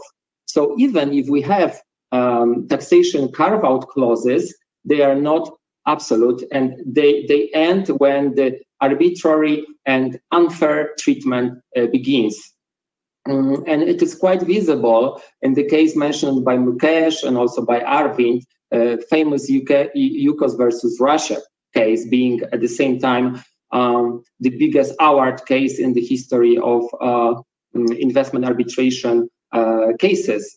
Um, interesting thing with that case is that even before the final award was uh, ruled in 2014, we had um, the judgment of the European Court of Human Rights from 20 September 2011, in which the European Court of Human Rights uh, stated that in, in the Yukos case, the domestic Russian tax authorities failed to strike a fair balance between the legitimate aim of these proceedings, the tax proceedings, and the measure employed. So, uh, what the European Court of Human Rights wants to say is that the enforcement of um, tax law by a given state uh, must strike the first balance between the needs and the expectations of the tax authorities to provide a state budget with sufficient uh, inflows of funds on the one side, with the rights and freedoms of taxpayers on the other side. And one of that freedom was already mentioned by Anuradha, which is the freedom to carry out business activity. And uh, doing so in, um, uh, in an effective way in, in a foreign country is impossible without sufficient degree of predictability. And if we look in, in, in the uh, final observations of the uh, investment tribunal in the U- arbitration tribunal in the Yukos case, um, then we will see that even though the tax authorities uh, base their decisions on, uh, on, on, on the doctrines that are known or should have been known by the investors, but the enforcement of such doctrines, in the Yukos case, it was bad faith uh, doctrine, deviates from the uh, established practice, deviates from the uh, interpretation of tax law as proposed by the courts and the scholarship, then this is something that is in breach with the fair and equitable treatment. And particularly in the paragraph 625, the tribunal um, said that in the Russian context, it is clear to the tribunal that there was no precedent for reattribution of income at the time that the tax assessments and, and related decisions were issued in respect of Yukos. So in, in, in the Yukos case, the tax authorities, for the first time in the history of the Russian law, applied the so-called bad faith doctrine uh, in order to reattribute foreign income, income in the ownership of foreign investors to its respective uh, Russian Russian investors. Uh, so it, it, was unheard of before. As, as, as far as I know, the, the similar situation took place in both Cairn and uh, Vodafone cases where uh, it was unheard of during the tax proceedings that um, the, the, the, foreign transactions, the transfer of uh, assets completely outside the territory of India could be taxed uh, under capital gain laws uh, uh, in, uh, in India. So I can see the clear parallel between the Yukos case outcome and, and the Indian Vodafone and Cairn case. so this is, I think, um, uh, interesting to, to, to, you know be aware and and final to say a final word about European food uh, case versus European Commission of the Court of Justice from 18 June 2019. Um, it was actually in, in very brief uh, case against uh, Romania and the Romanian um, uh, favorable tax treatment of foreign investors, which was, according to the European Commission, illegal state aid treatment but it was uh, actually uh, implemented and enforced by the Romania several years before Romania uh, ceded to European Union in 2009. Uh, uh, despite that, the European Commission felt uh, to have um, pre, to have a right to to say that state aid actually took place and Romania cannot under the legally binding arbitral hour decision uh, enforce this decision because it would be the second state aid to, to paying the respective um, uh, compensation to the investors. And, and the court was clear that it is impossible for the European Commission to step in and to uh, break the outcome of the um, arbitral tribunal decision because it would be retrospective application of the EU Commission prerogatives. And according to the settled case law, uh, uh, under fundamental freedoms and rule of law, which is common to all EU member states, law in principle cannot apply retrospectively. Law may only apply prospectively. And in, only in, in, in, the very extreme situations for, for of, uh, public policy reasons this rule that we call from Latino lex retro non agit may be, uh, may be ignored, but only in extremely exceptional situations. Thank you, uh, Dr. Błażej. Uh, uh, this is just a good point, uh, or you know, to invite uh, Dr. Kasibhatla to share his perspectives. Just thought I will add that he is going to speak in his personal capacity, and he's going to touch only on the policy issues rather than anything specific to Vodafone or Cairn arbitration awards. Uh, sir, uh, you know, we wanted to have your perspective on India's position with respect to tax disputes. So the, the 2016 model has made it very clear that tax is not included. But I think there is an air of uncertainty whether prior to 2016 model taxes is included or not. In particular, you know, can a tax policy, which is a sovereign right, and as everyone mentioned, and also in a way represents the will of the citizens because the elected representatives or member of parliament uh, are passing that particular law, be subjected to questioning under a BIPA uh, or a BIT award, because that's what is the view that comes based on my discussions with your colleagues in the government. And hence, the question was, and to some extent, this is academic because India has already challenged the Vodafone Award. Would India challenge the award uh, and the recourse that is available to India? Uh, what would India do with res- respect to Cairn? If you can share with us, particularly since uh, in the Cairn Award, uh, the arbitral uh, tribunal has suggested that damages be recovered from the investor state? And more importantly, can these awards lead to any more changes in India's policy with respect to BITs, or for that matter, change in tax policy? Your perspective, sir. So you are on mute, sir. Uh, uh, good evening, good afternoon, and uh, thank you very much. Uh, first, uh, respected Honorable Justice Mr. Patnaik and Dr. Aniruddha and Dr. Datar, Ms. Anuradha and uh, Isha and Mr. Butani. It's a great pleasure and privilege, and I feel it is a great honor for being with all of you and sharing this platform. Um, and I'm thankful to IFA for affording me this opportunity. Though I am a little toddler when compared to eminent luminaries, legal luminaries like Aniruddha Datta, Anuradha and Anirudh and uh, Mr. Datar and Justice Patnaik. I'm venturing to share my views or thoughts, which, as I already mentioned, will be purely personal, in no way reflects either my department or my government. To start with, I would like to share a quote from Kautilya's Arthashastra relating to taxation.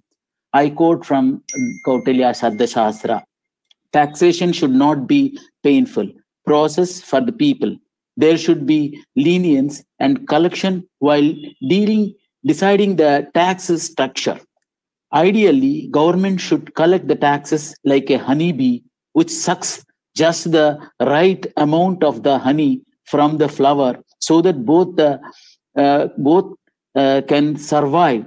Taxes should not be collected in small and not in large proportions. I unquote from arthashastra. This clearly relates to the process of collection of taxation. Now, coming to the uh, core issue of the power to control taxes is a cornerstone in the exercise of full sovereignty of states. Tax avoidance in an uh, underdeveloped or developing upon economy should not be encouraged for practical as well as ideological grounds. Taxes are the price of civilization, and one would like to pay that price to buy civilization.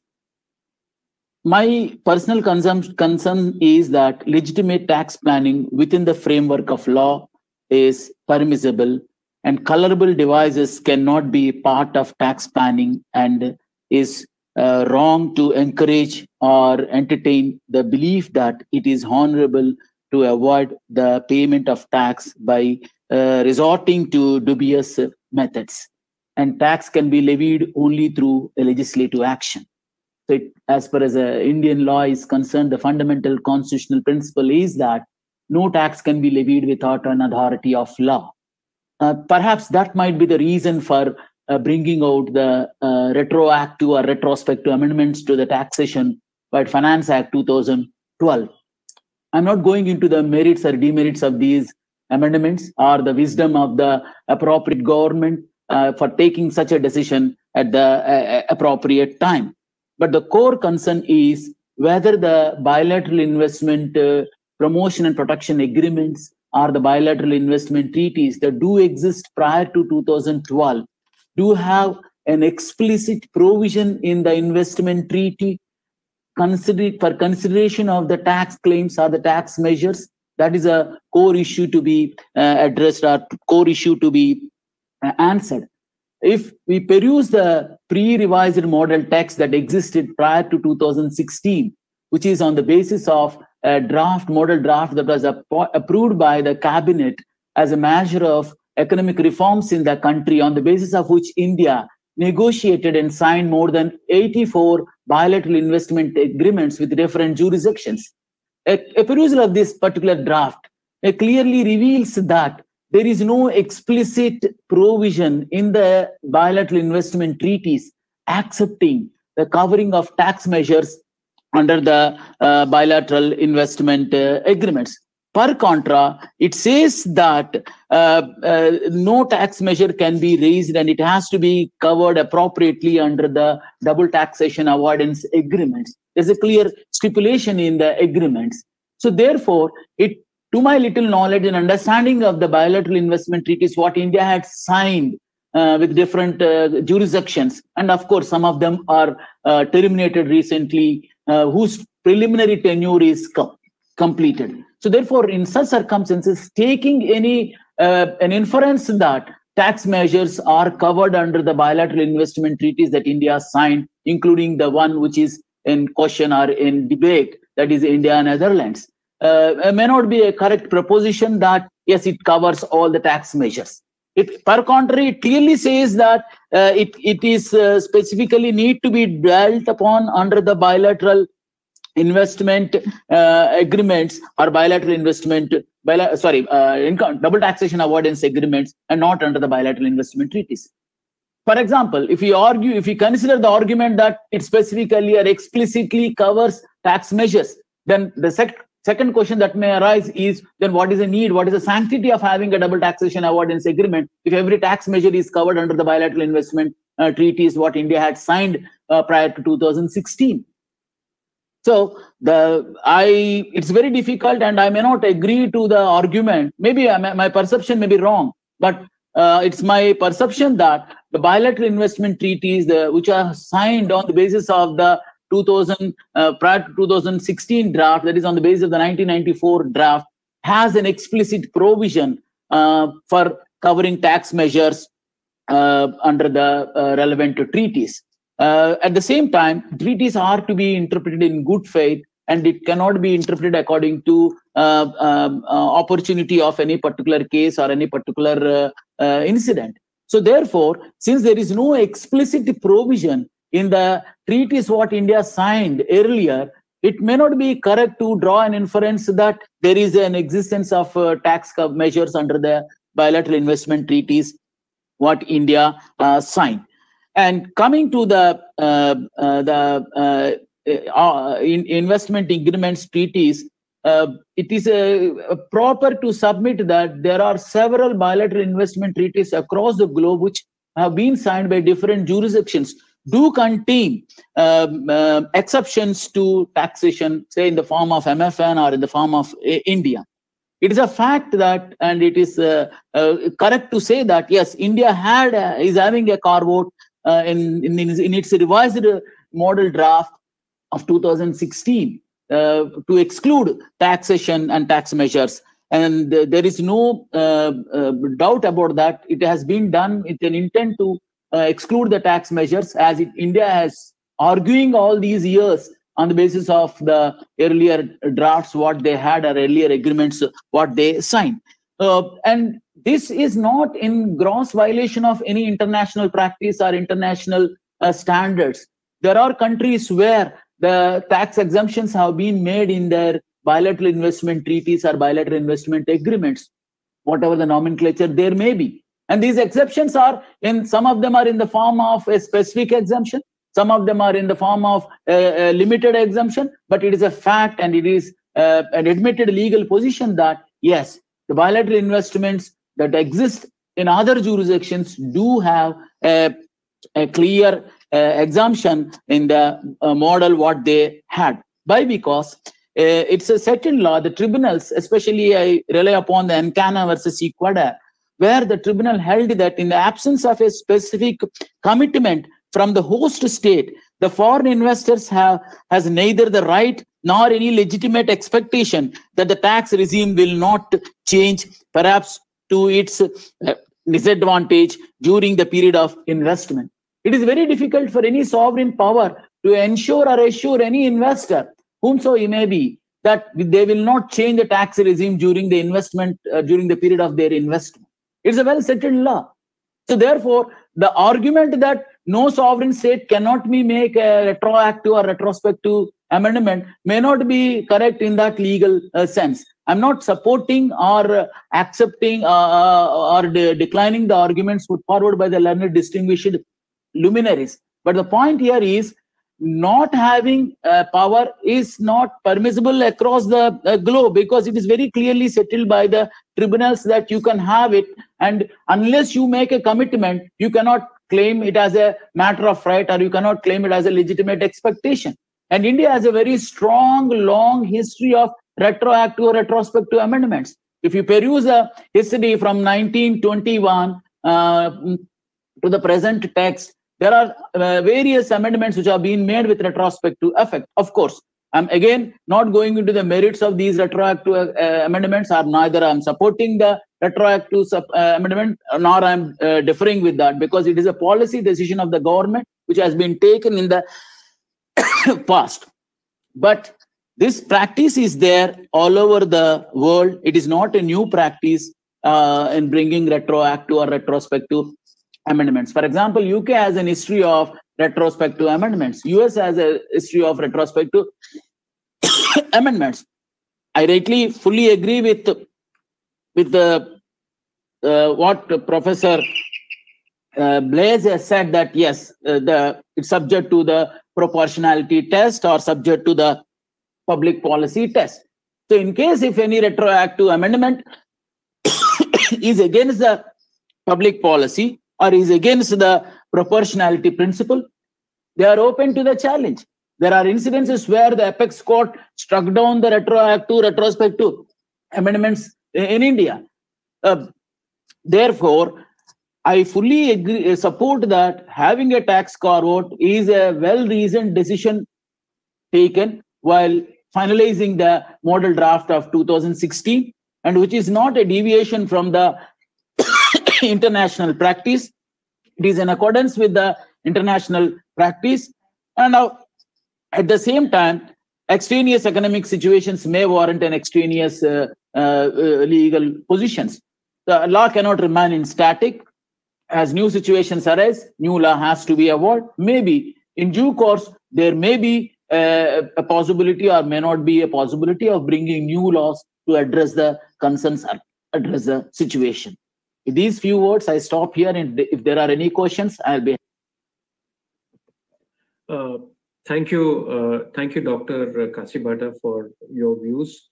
Uh, I just am mindful of the time. Uh, I just wanted to consolidate uh, some questions. I wanted if Dr. Rajput can come in because some questions have fallen for him. Uh, Dr. Rajput, uh, you alluded on the fact that the argument of breaching legitimate expectation could have been argued by the Indian government because there is no express legal promise that the government made under the BIT.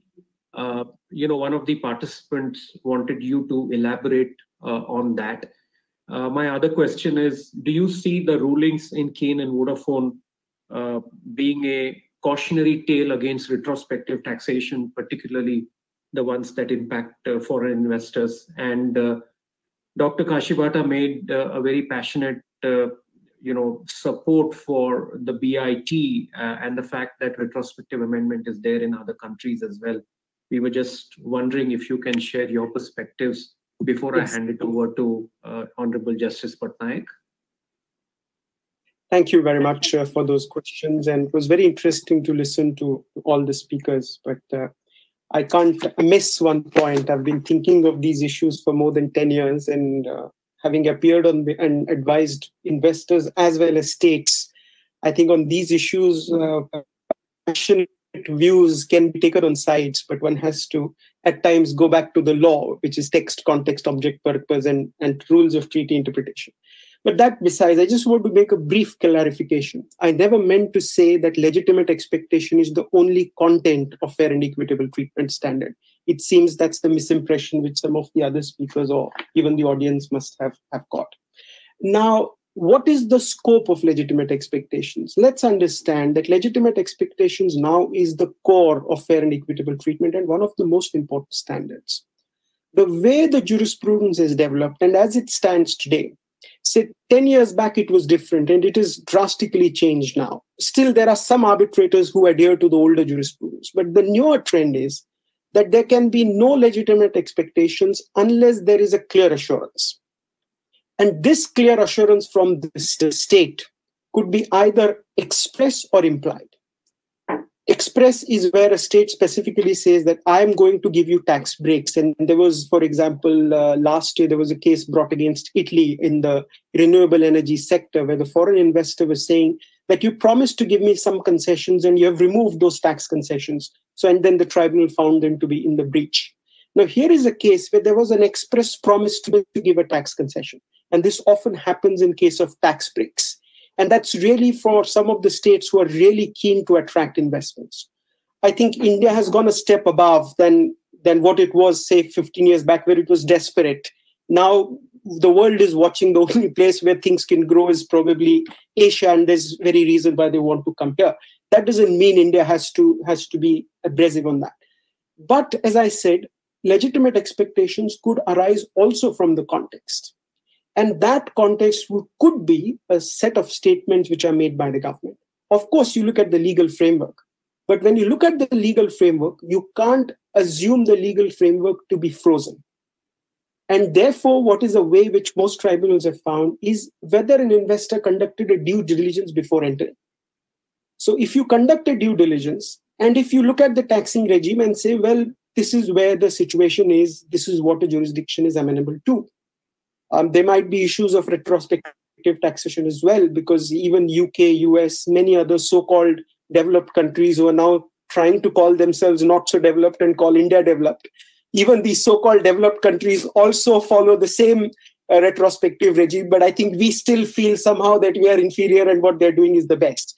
But the world is changing. That's where the world stands. States do tend to do these things. But if there is a promise, if that amounts to a legitimate expectation, then a state cannot withdraw from that promise. But an associated point is of estoppel. And estoppel is a general principle of international law. So it's quite possible to say that you, state, behaved in a certain manner, gave me a promise, I acted on that behalf, I came into your jurisdiction. Now you are unreasonably withdrawing from that promise. I'm suffering the losses. You have to face the consequences. So that's also quite, quite, quite possibly a way in. So we, so that's how how legitimate expectations is going to function in, in these specific cases. Just one point I really couldn't resist, and, and I think I can take that liberty being uh, Dr. Kuźniacki being a former academic.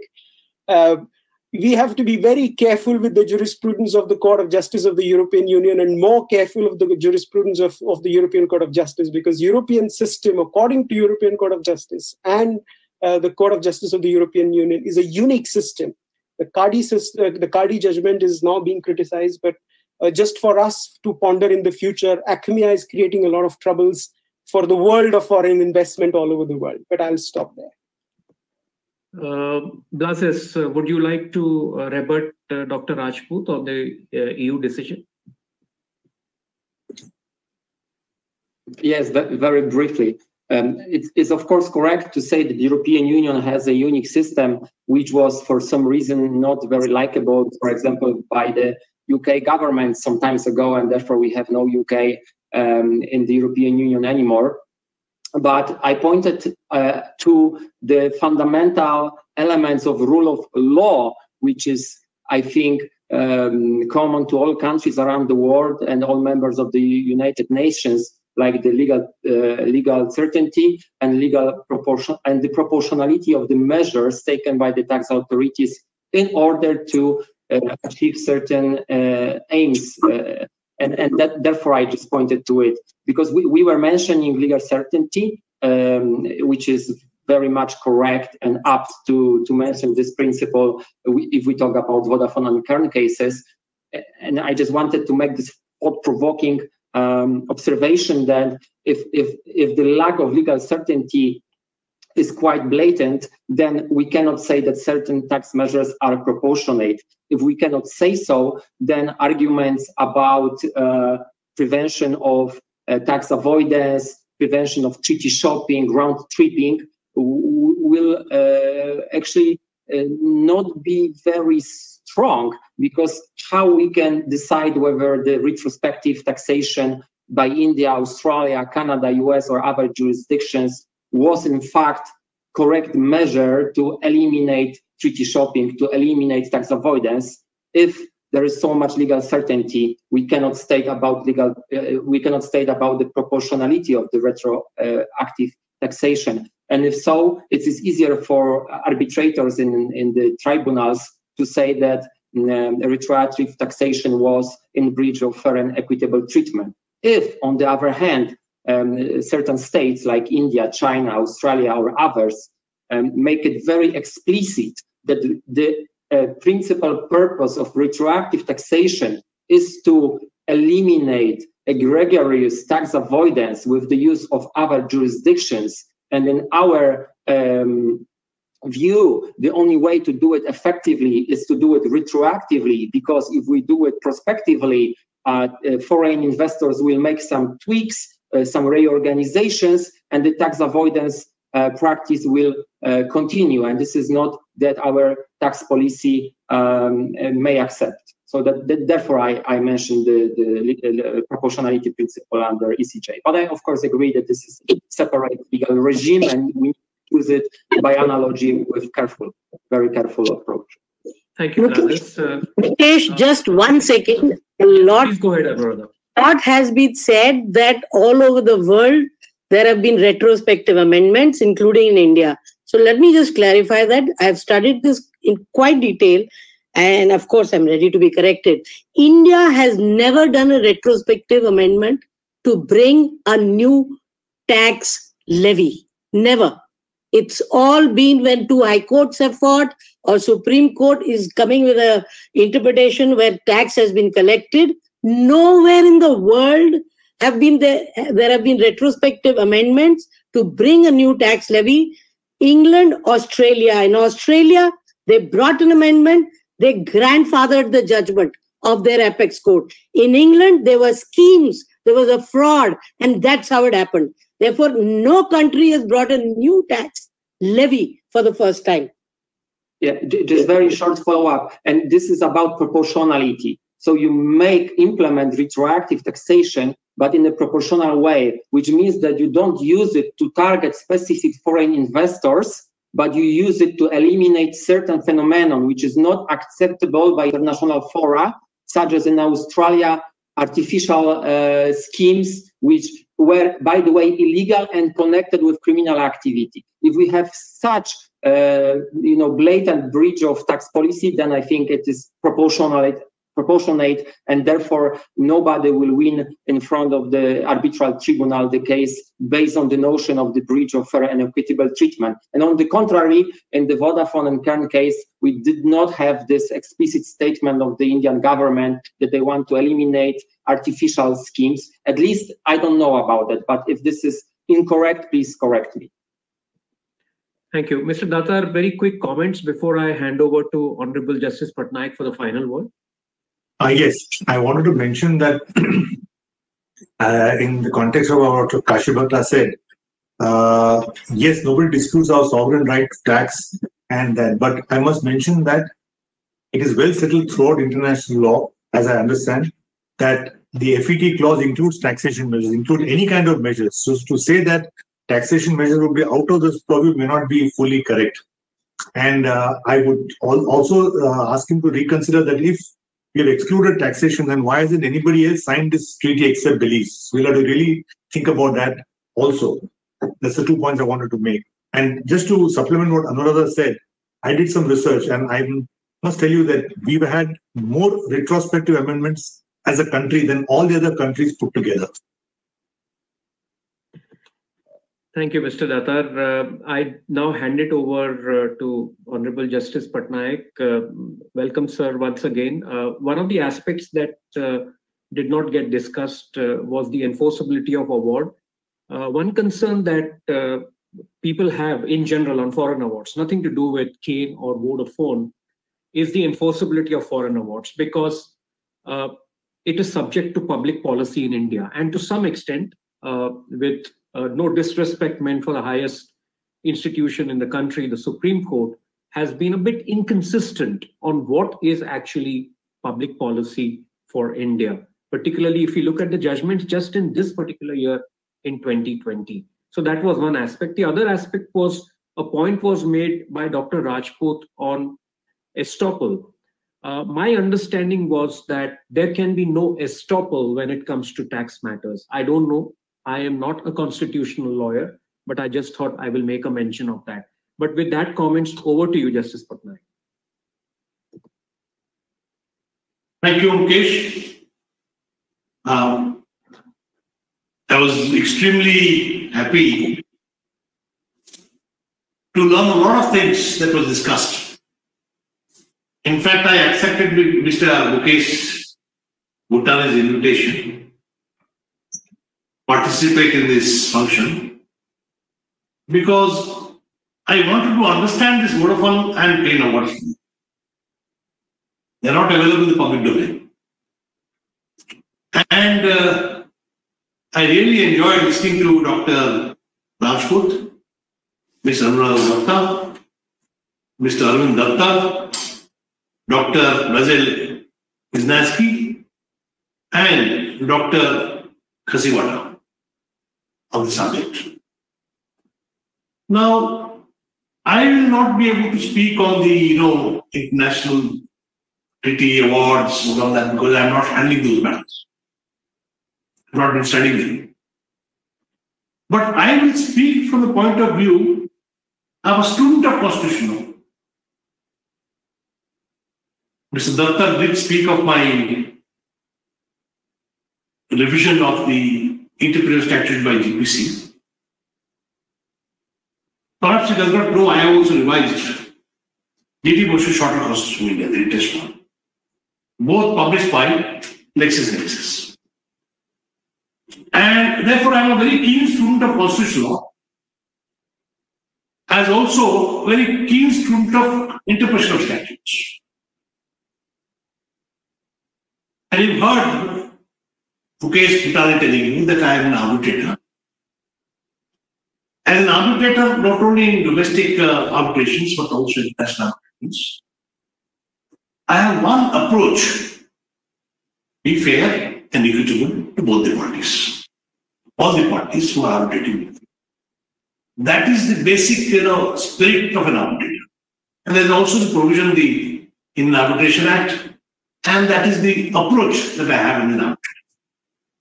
So I will speak to you from the constitutional angle.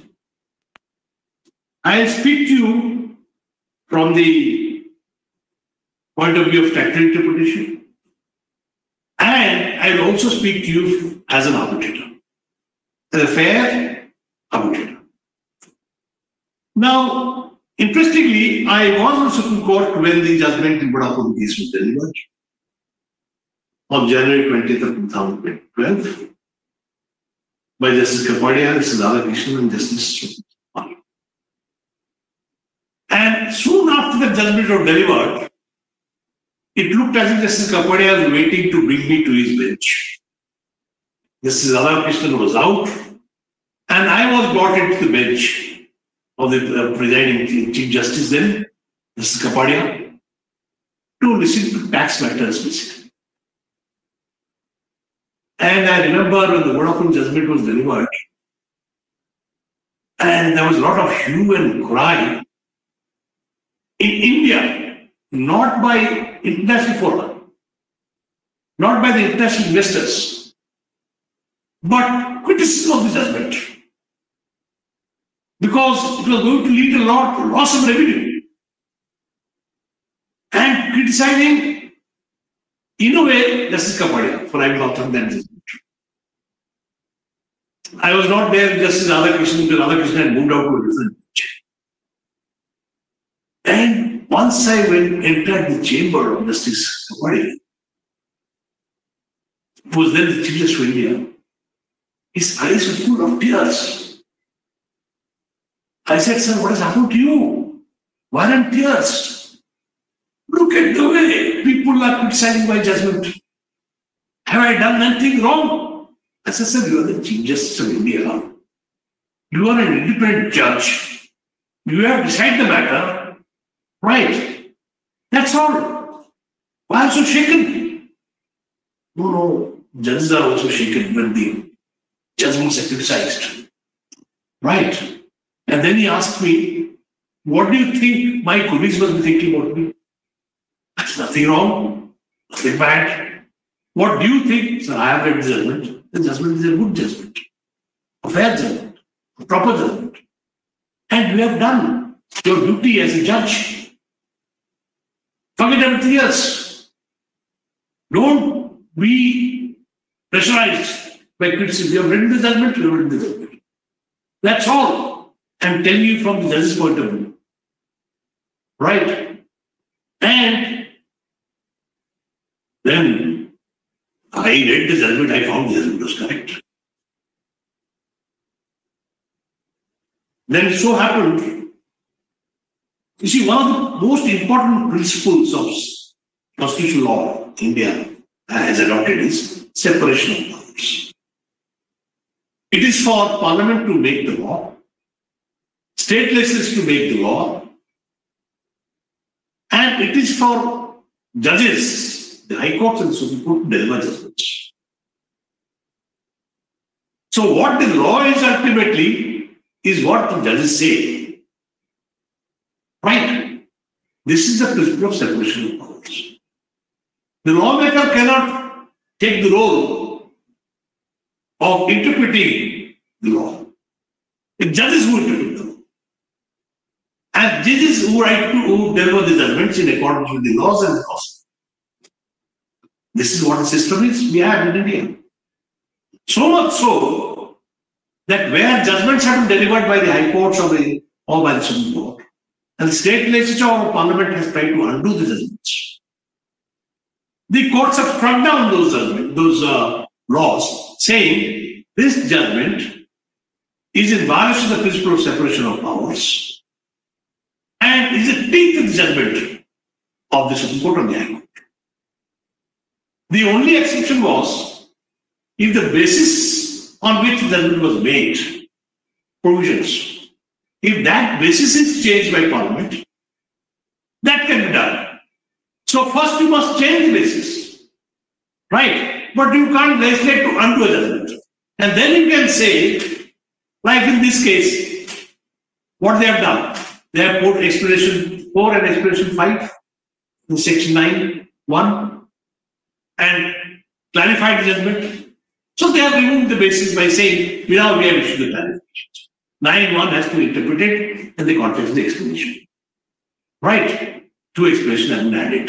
This is what they have done it. And they have done it since 1962. Retrospective effect. Right?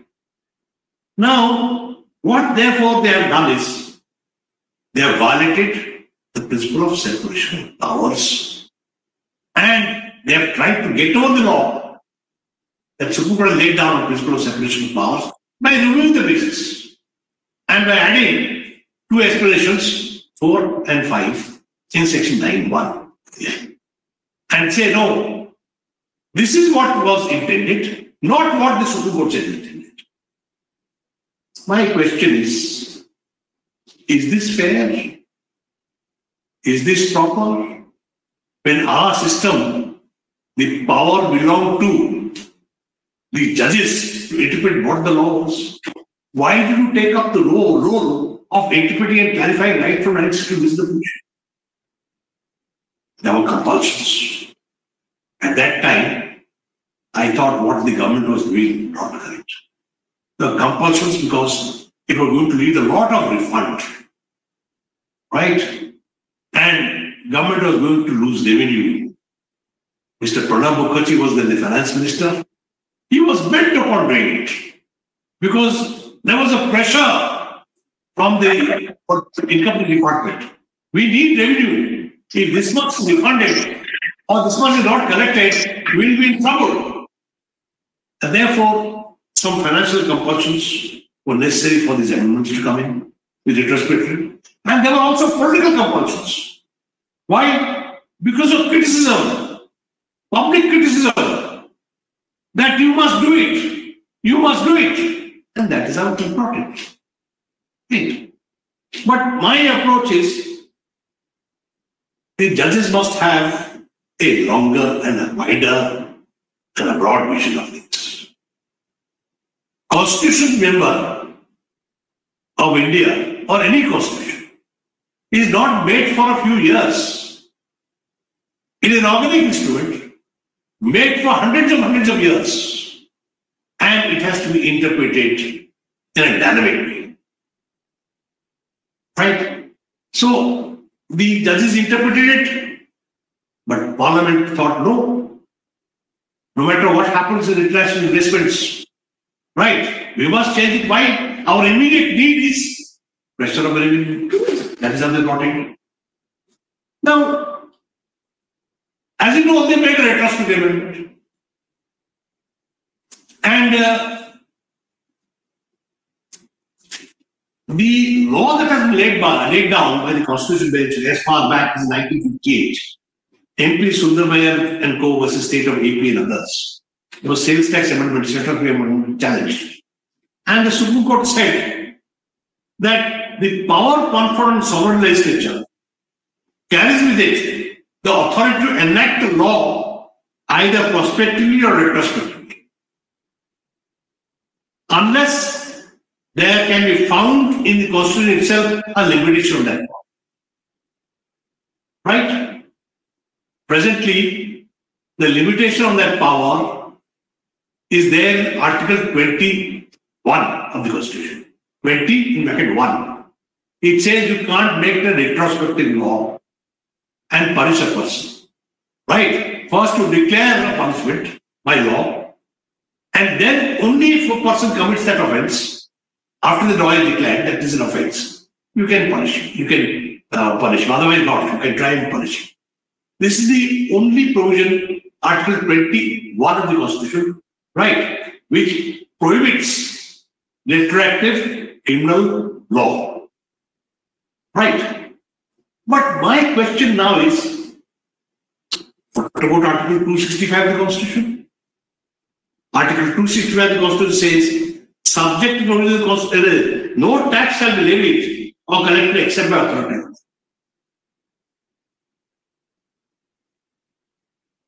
So therefore, who will declare the law? Judges will declare the law. So as Ms. Anuradha was saying, how can you levy a new law, a new tax now? The law must be laid down to levy or collect tax at the time you want to collect. And it is for the Supreme Court to interpret it. How can you levy it? Unfortunately, the Supreme Court has been holding since 1958 power is what you call parliament and the state legislature have the power to make it for even on taxation. In England, parliament is sovereign. There is no written constitution. There is no limitations. In India, parliament is not sovereign. Why? There is a written constitution. And Article 245 of the Constitution says, let me read it. This you must bear in mind. It says, subject to the provision of this Constitution, Parliament may make laws for the whole or any part of the territory of India, which will include the income tax laws. Right? And the legislature of a state may make laws for the whole or any part of the state. And then 246 laid down the division of powers. This one, Parliament has the powers. These two, state has exclusive powers. These three, concurrent powers. And resident powers, 248 says Parliament has powers. So Parliament has powers, but subject to the provisions of the Constitution.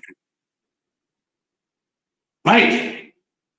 And Article 265 is one of these provisions of the Constitution subject to which Parliament has power. If Article 265 very clearly says that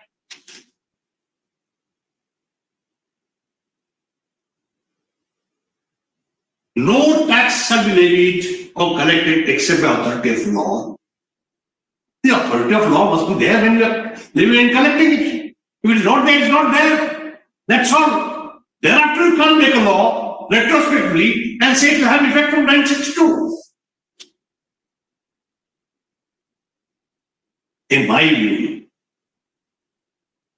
the Supreme Court now should wake up and review this question. The five judges who laid down this. Right? And we are all bound by it. Under 141. The Supreme Court should wake up and then woken up earlier. In A.K. Gopalan case, Supreme Court said in Article 21 The procedure established by law means procedure established by statutory law.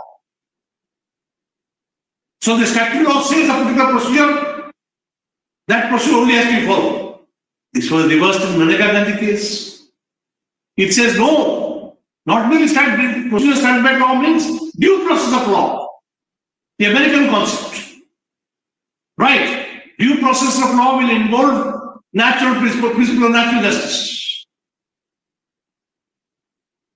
So, you please appreciate that time has come when the Supreme Court has to have a relook at these judgments which speaks about, but that is the culprit.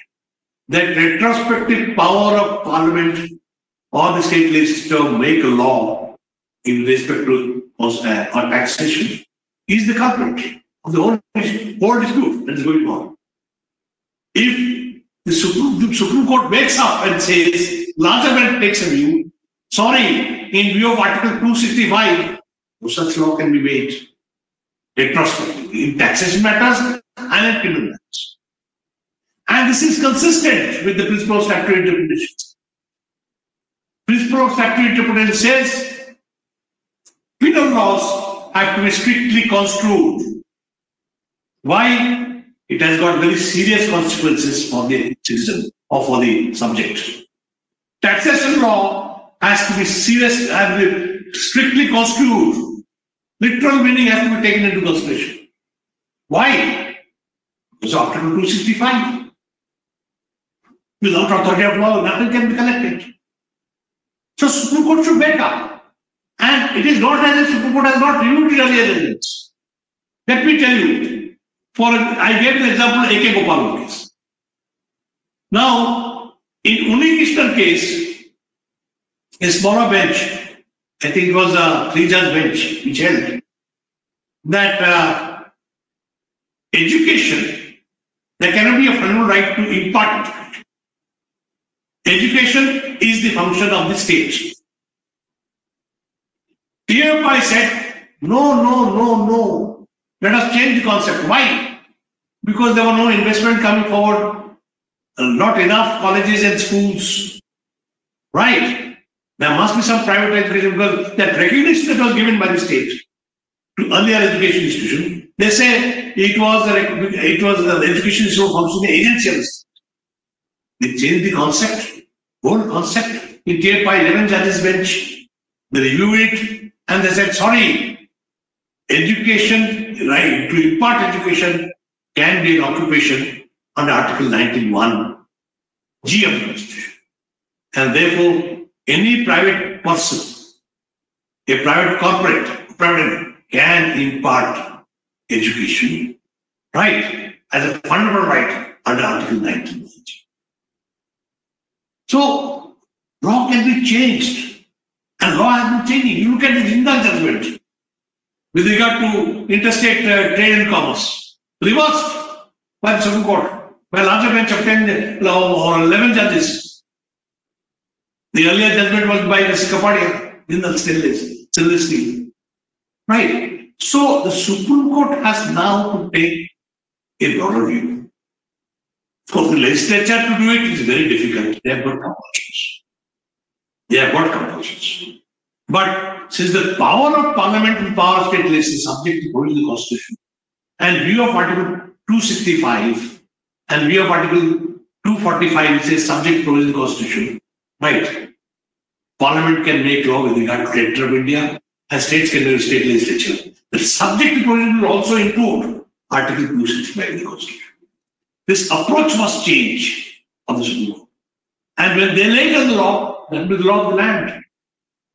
I remember, then it became more difficult for constitutional amendment. I remember, if you all remember, I delivered the Lily Thomas judgment. Famous Lily Thomas. Only two judges. I was the author of the judgment. You say a, politician, a, an MLA or a parliamentarian, once convicted and gets disqualified in the Political Act, right? He gets out from the parliament and gets out. He cannot file an appeal and continue. Section 8.4 of the Reputation Act, 4A, that I struck down. And I said that it will have prospective effect, not retrospective effect. To say to save some legislatures, uh, some governments money. We don't know how many were convicted, how many how many MLAs or how many MPs. We did not get the statistics. It will have prospective. Right. Lalu got affected. Lalu Yadav got affected very badly. Many other political leaders got affected. Jayalalitha got affected. Out means out. Supreme Court laid down the law. Parliament did make an attempt to reverse it. Did they succeed? They did not succeed. Right? Because there were some political problems, the BJP backed out, they could not succeed. The Central Select Committee. Then they made an ordinance. They made an ordinance because some political leaders had to be saved. Were pressures like Mr. Lalu Yadav. They had to be continued in Parliament. They made an ordinance. Pranab Mukherjee said, I can't. I can't change ordinance because the Supreme Court has said Parliament has no power to make this kind of a law. How can the President have the power to make an ordinance? Lawmaking powers are, uh, of the Parliament are only exercised by President.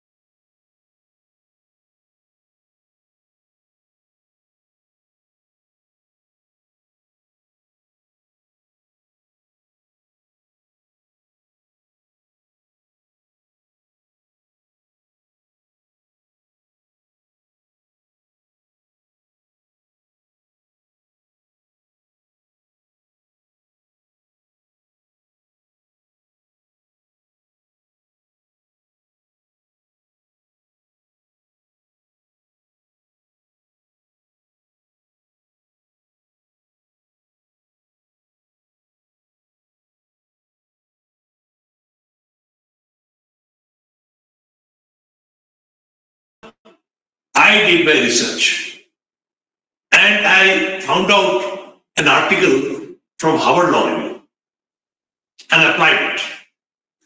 And my principle was this additional tax was really the nature of a penalty. Because he had first filed the return, giving a loss return of uh, 10 lakhs. Later on, he made a retrospective law, right? And said particulars have gone wrong, then you have to pay tax on it, additional tax on it. Right? And later on, after you have done the job, after you've done the act, you are trying to penalize it for what you know, 8 lakhs tax. No, tax on 8 lakhs. Right? As additional tax. He said, you first declare the law. A penal provision, I said, has to be declared first.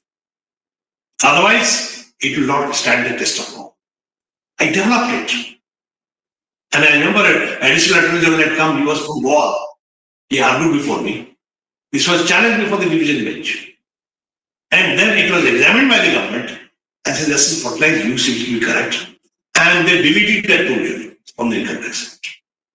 Right? Some, some thinking has to be done by the Supreme Court. Government is under pressure. Political leaders are under pressure, of all kinds of compulsions. Right? But some thinking has to be done by the Supreme Court of India and change that law, that taxation can be imposed retrospectively. Just as penal law can be made retrospectively, taxation law cannot be made. If that is, and you can't say it will apply only to foreign investors. It will be hit by Article 14, discrimination, equality, right? So it will be hit by Article 14 straight away. It will be discriminatory law. You have to make one law. And you have to say, so far as taxation is concerned, right? If there is judgment of the Supreme Court, you can't undo the judgment. They have interpreted it, right? So Article 265 is to be interpreted. Once Article 265 is taken into consideration, you can't make a retrospective. This is my point. This is the point I was trying to make. I think let us see if there are some jurists in the Supreme Court who come and have this view and uh, approach. And uh, the yes, this Mukesh asked about enforceability of award. Right. You see, a foreign award is challenged. If you look at Singapore award, I've been doing international arbitration. If there is a Singapore award, right, SIAC award, then challenge Singapore. First stage. Right. It has to be tested on the basis of law that is there, there, there, and of course the applicable law to the arbitration dispute. Second stage is when it comes to execution in India, right? They will see whether the fundamental law of this country has been violated before they enforce it. These are two stages. If you look at the Arbitration Act, right? Now, this law regarding public policy is in a very nebulous state, not yet developed. Gradually and gradually it will develop. There are only few judgments of Supreme Court, but eventually it will develop. And what is fundamental policy, what is not fundamental policy, we'll have to lay it down. Right, they are all vague. The one few judgments is Justice Thakur and some other see, but it has to develop. And regarding estoppel, yes, Mr. Butani was saying that yes, estoppel does not really. Earlier, they applied MP sugar mills. Mr. Bhagwati laid down the law of uh, you know, call promissory estoppel. Before that, also there was a judgment 967 Supreme Court. Anglo Afghan or something. Promissory estoppel. Promissory estoppel principle developed. Right. But gradually and gradually, the Supreme Court later on diluted it and said, right, necessities of policy may dictate the government to reverse it. And the government can show and with materials that reversal of that uh, promise was necessary in the public interest that can be permitted by courts and court will not enforce the promissory estoppel. This is the position. I must say thank you, thank you very much for having me this opportunity. And it was a very good discussion. I learned a lot and I got an opportunity throw some ideas which can be which can be taken up by like Mr. Datar and by uh, Aniruddha and all of the lawyers practicing Supreme Court to change the thinking of the Supreme Court so that there is more certainty in the trade and international investment is very important. Even domestically, there has to be certainty. There has to be certain law if you have to, what you call, bring in investment in India. Thank you. Thank you. Thank you very much, uh, sir. Thank you for your words of uh, wisdom. Uh, I think we are coming to the close. Uh, I think I would be doing a disservice by not mentioning names of three of my colleagues who put this uh, show together. Uh, Neeraj Jain, uh, Ishita, and Joseph Anthony. With this, over to you, Neeraj, to close the session and thank everyone.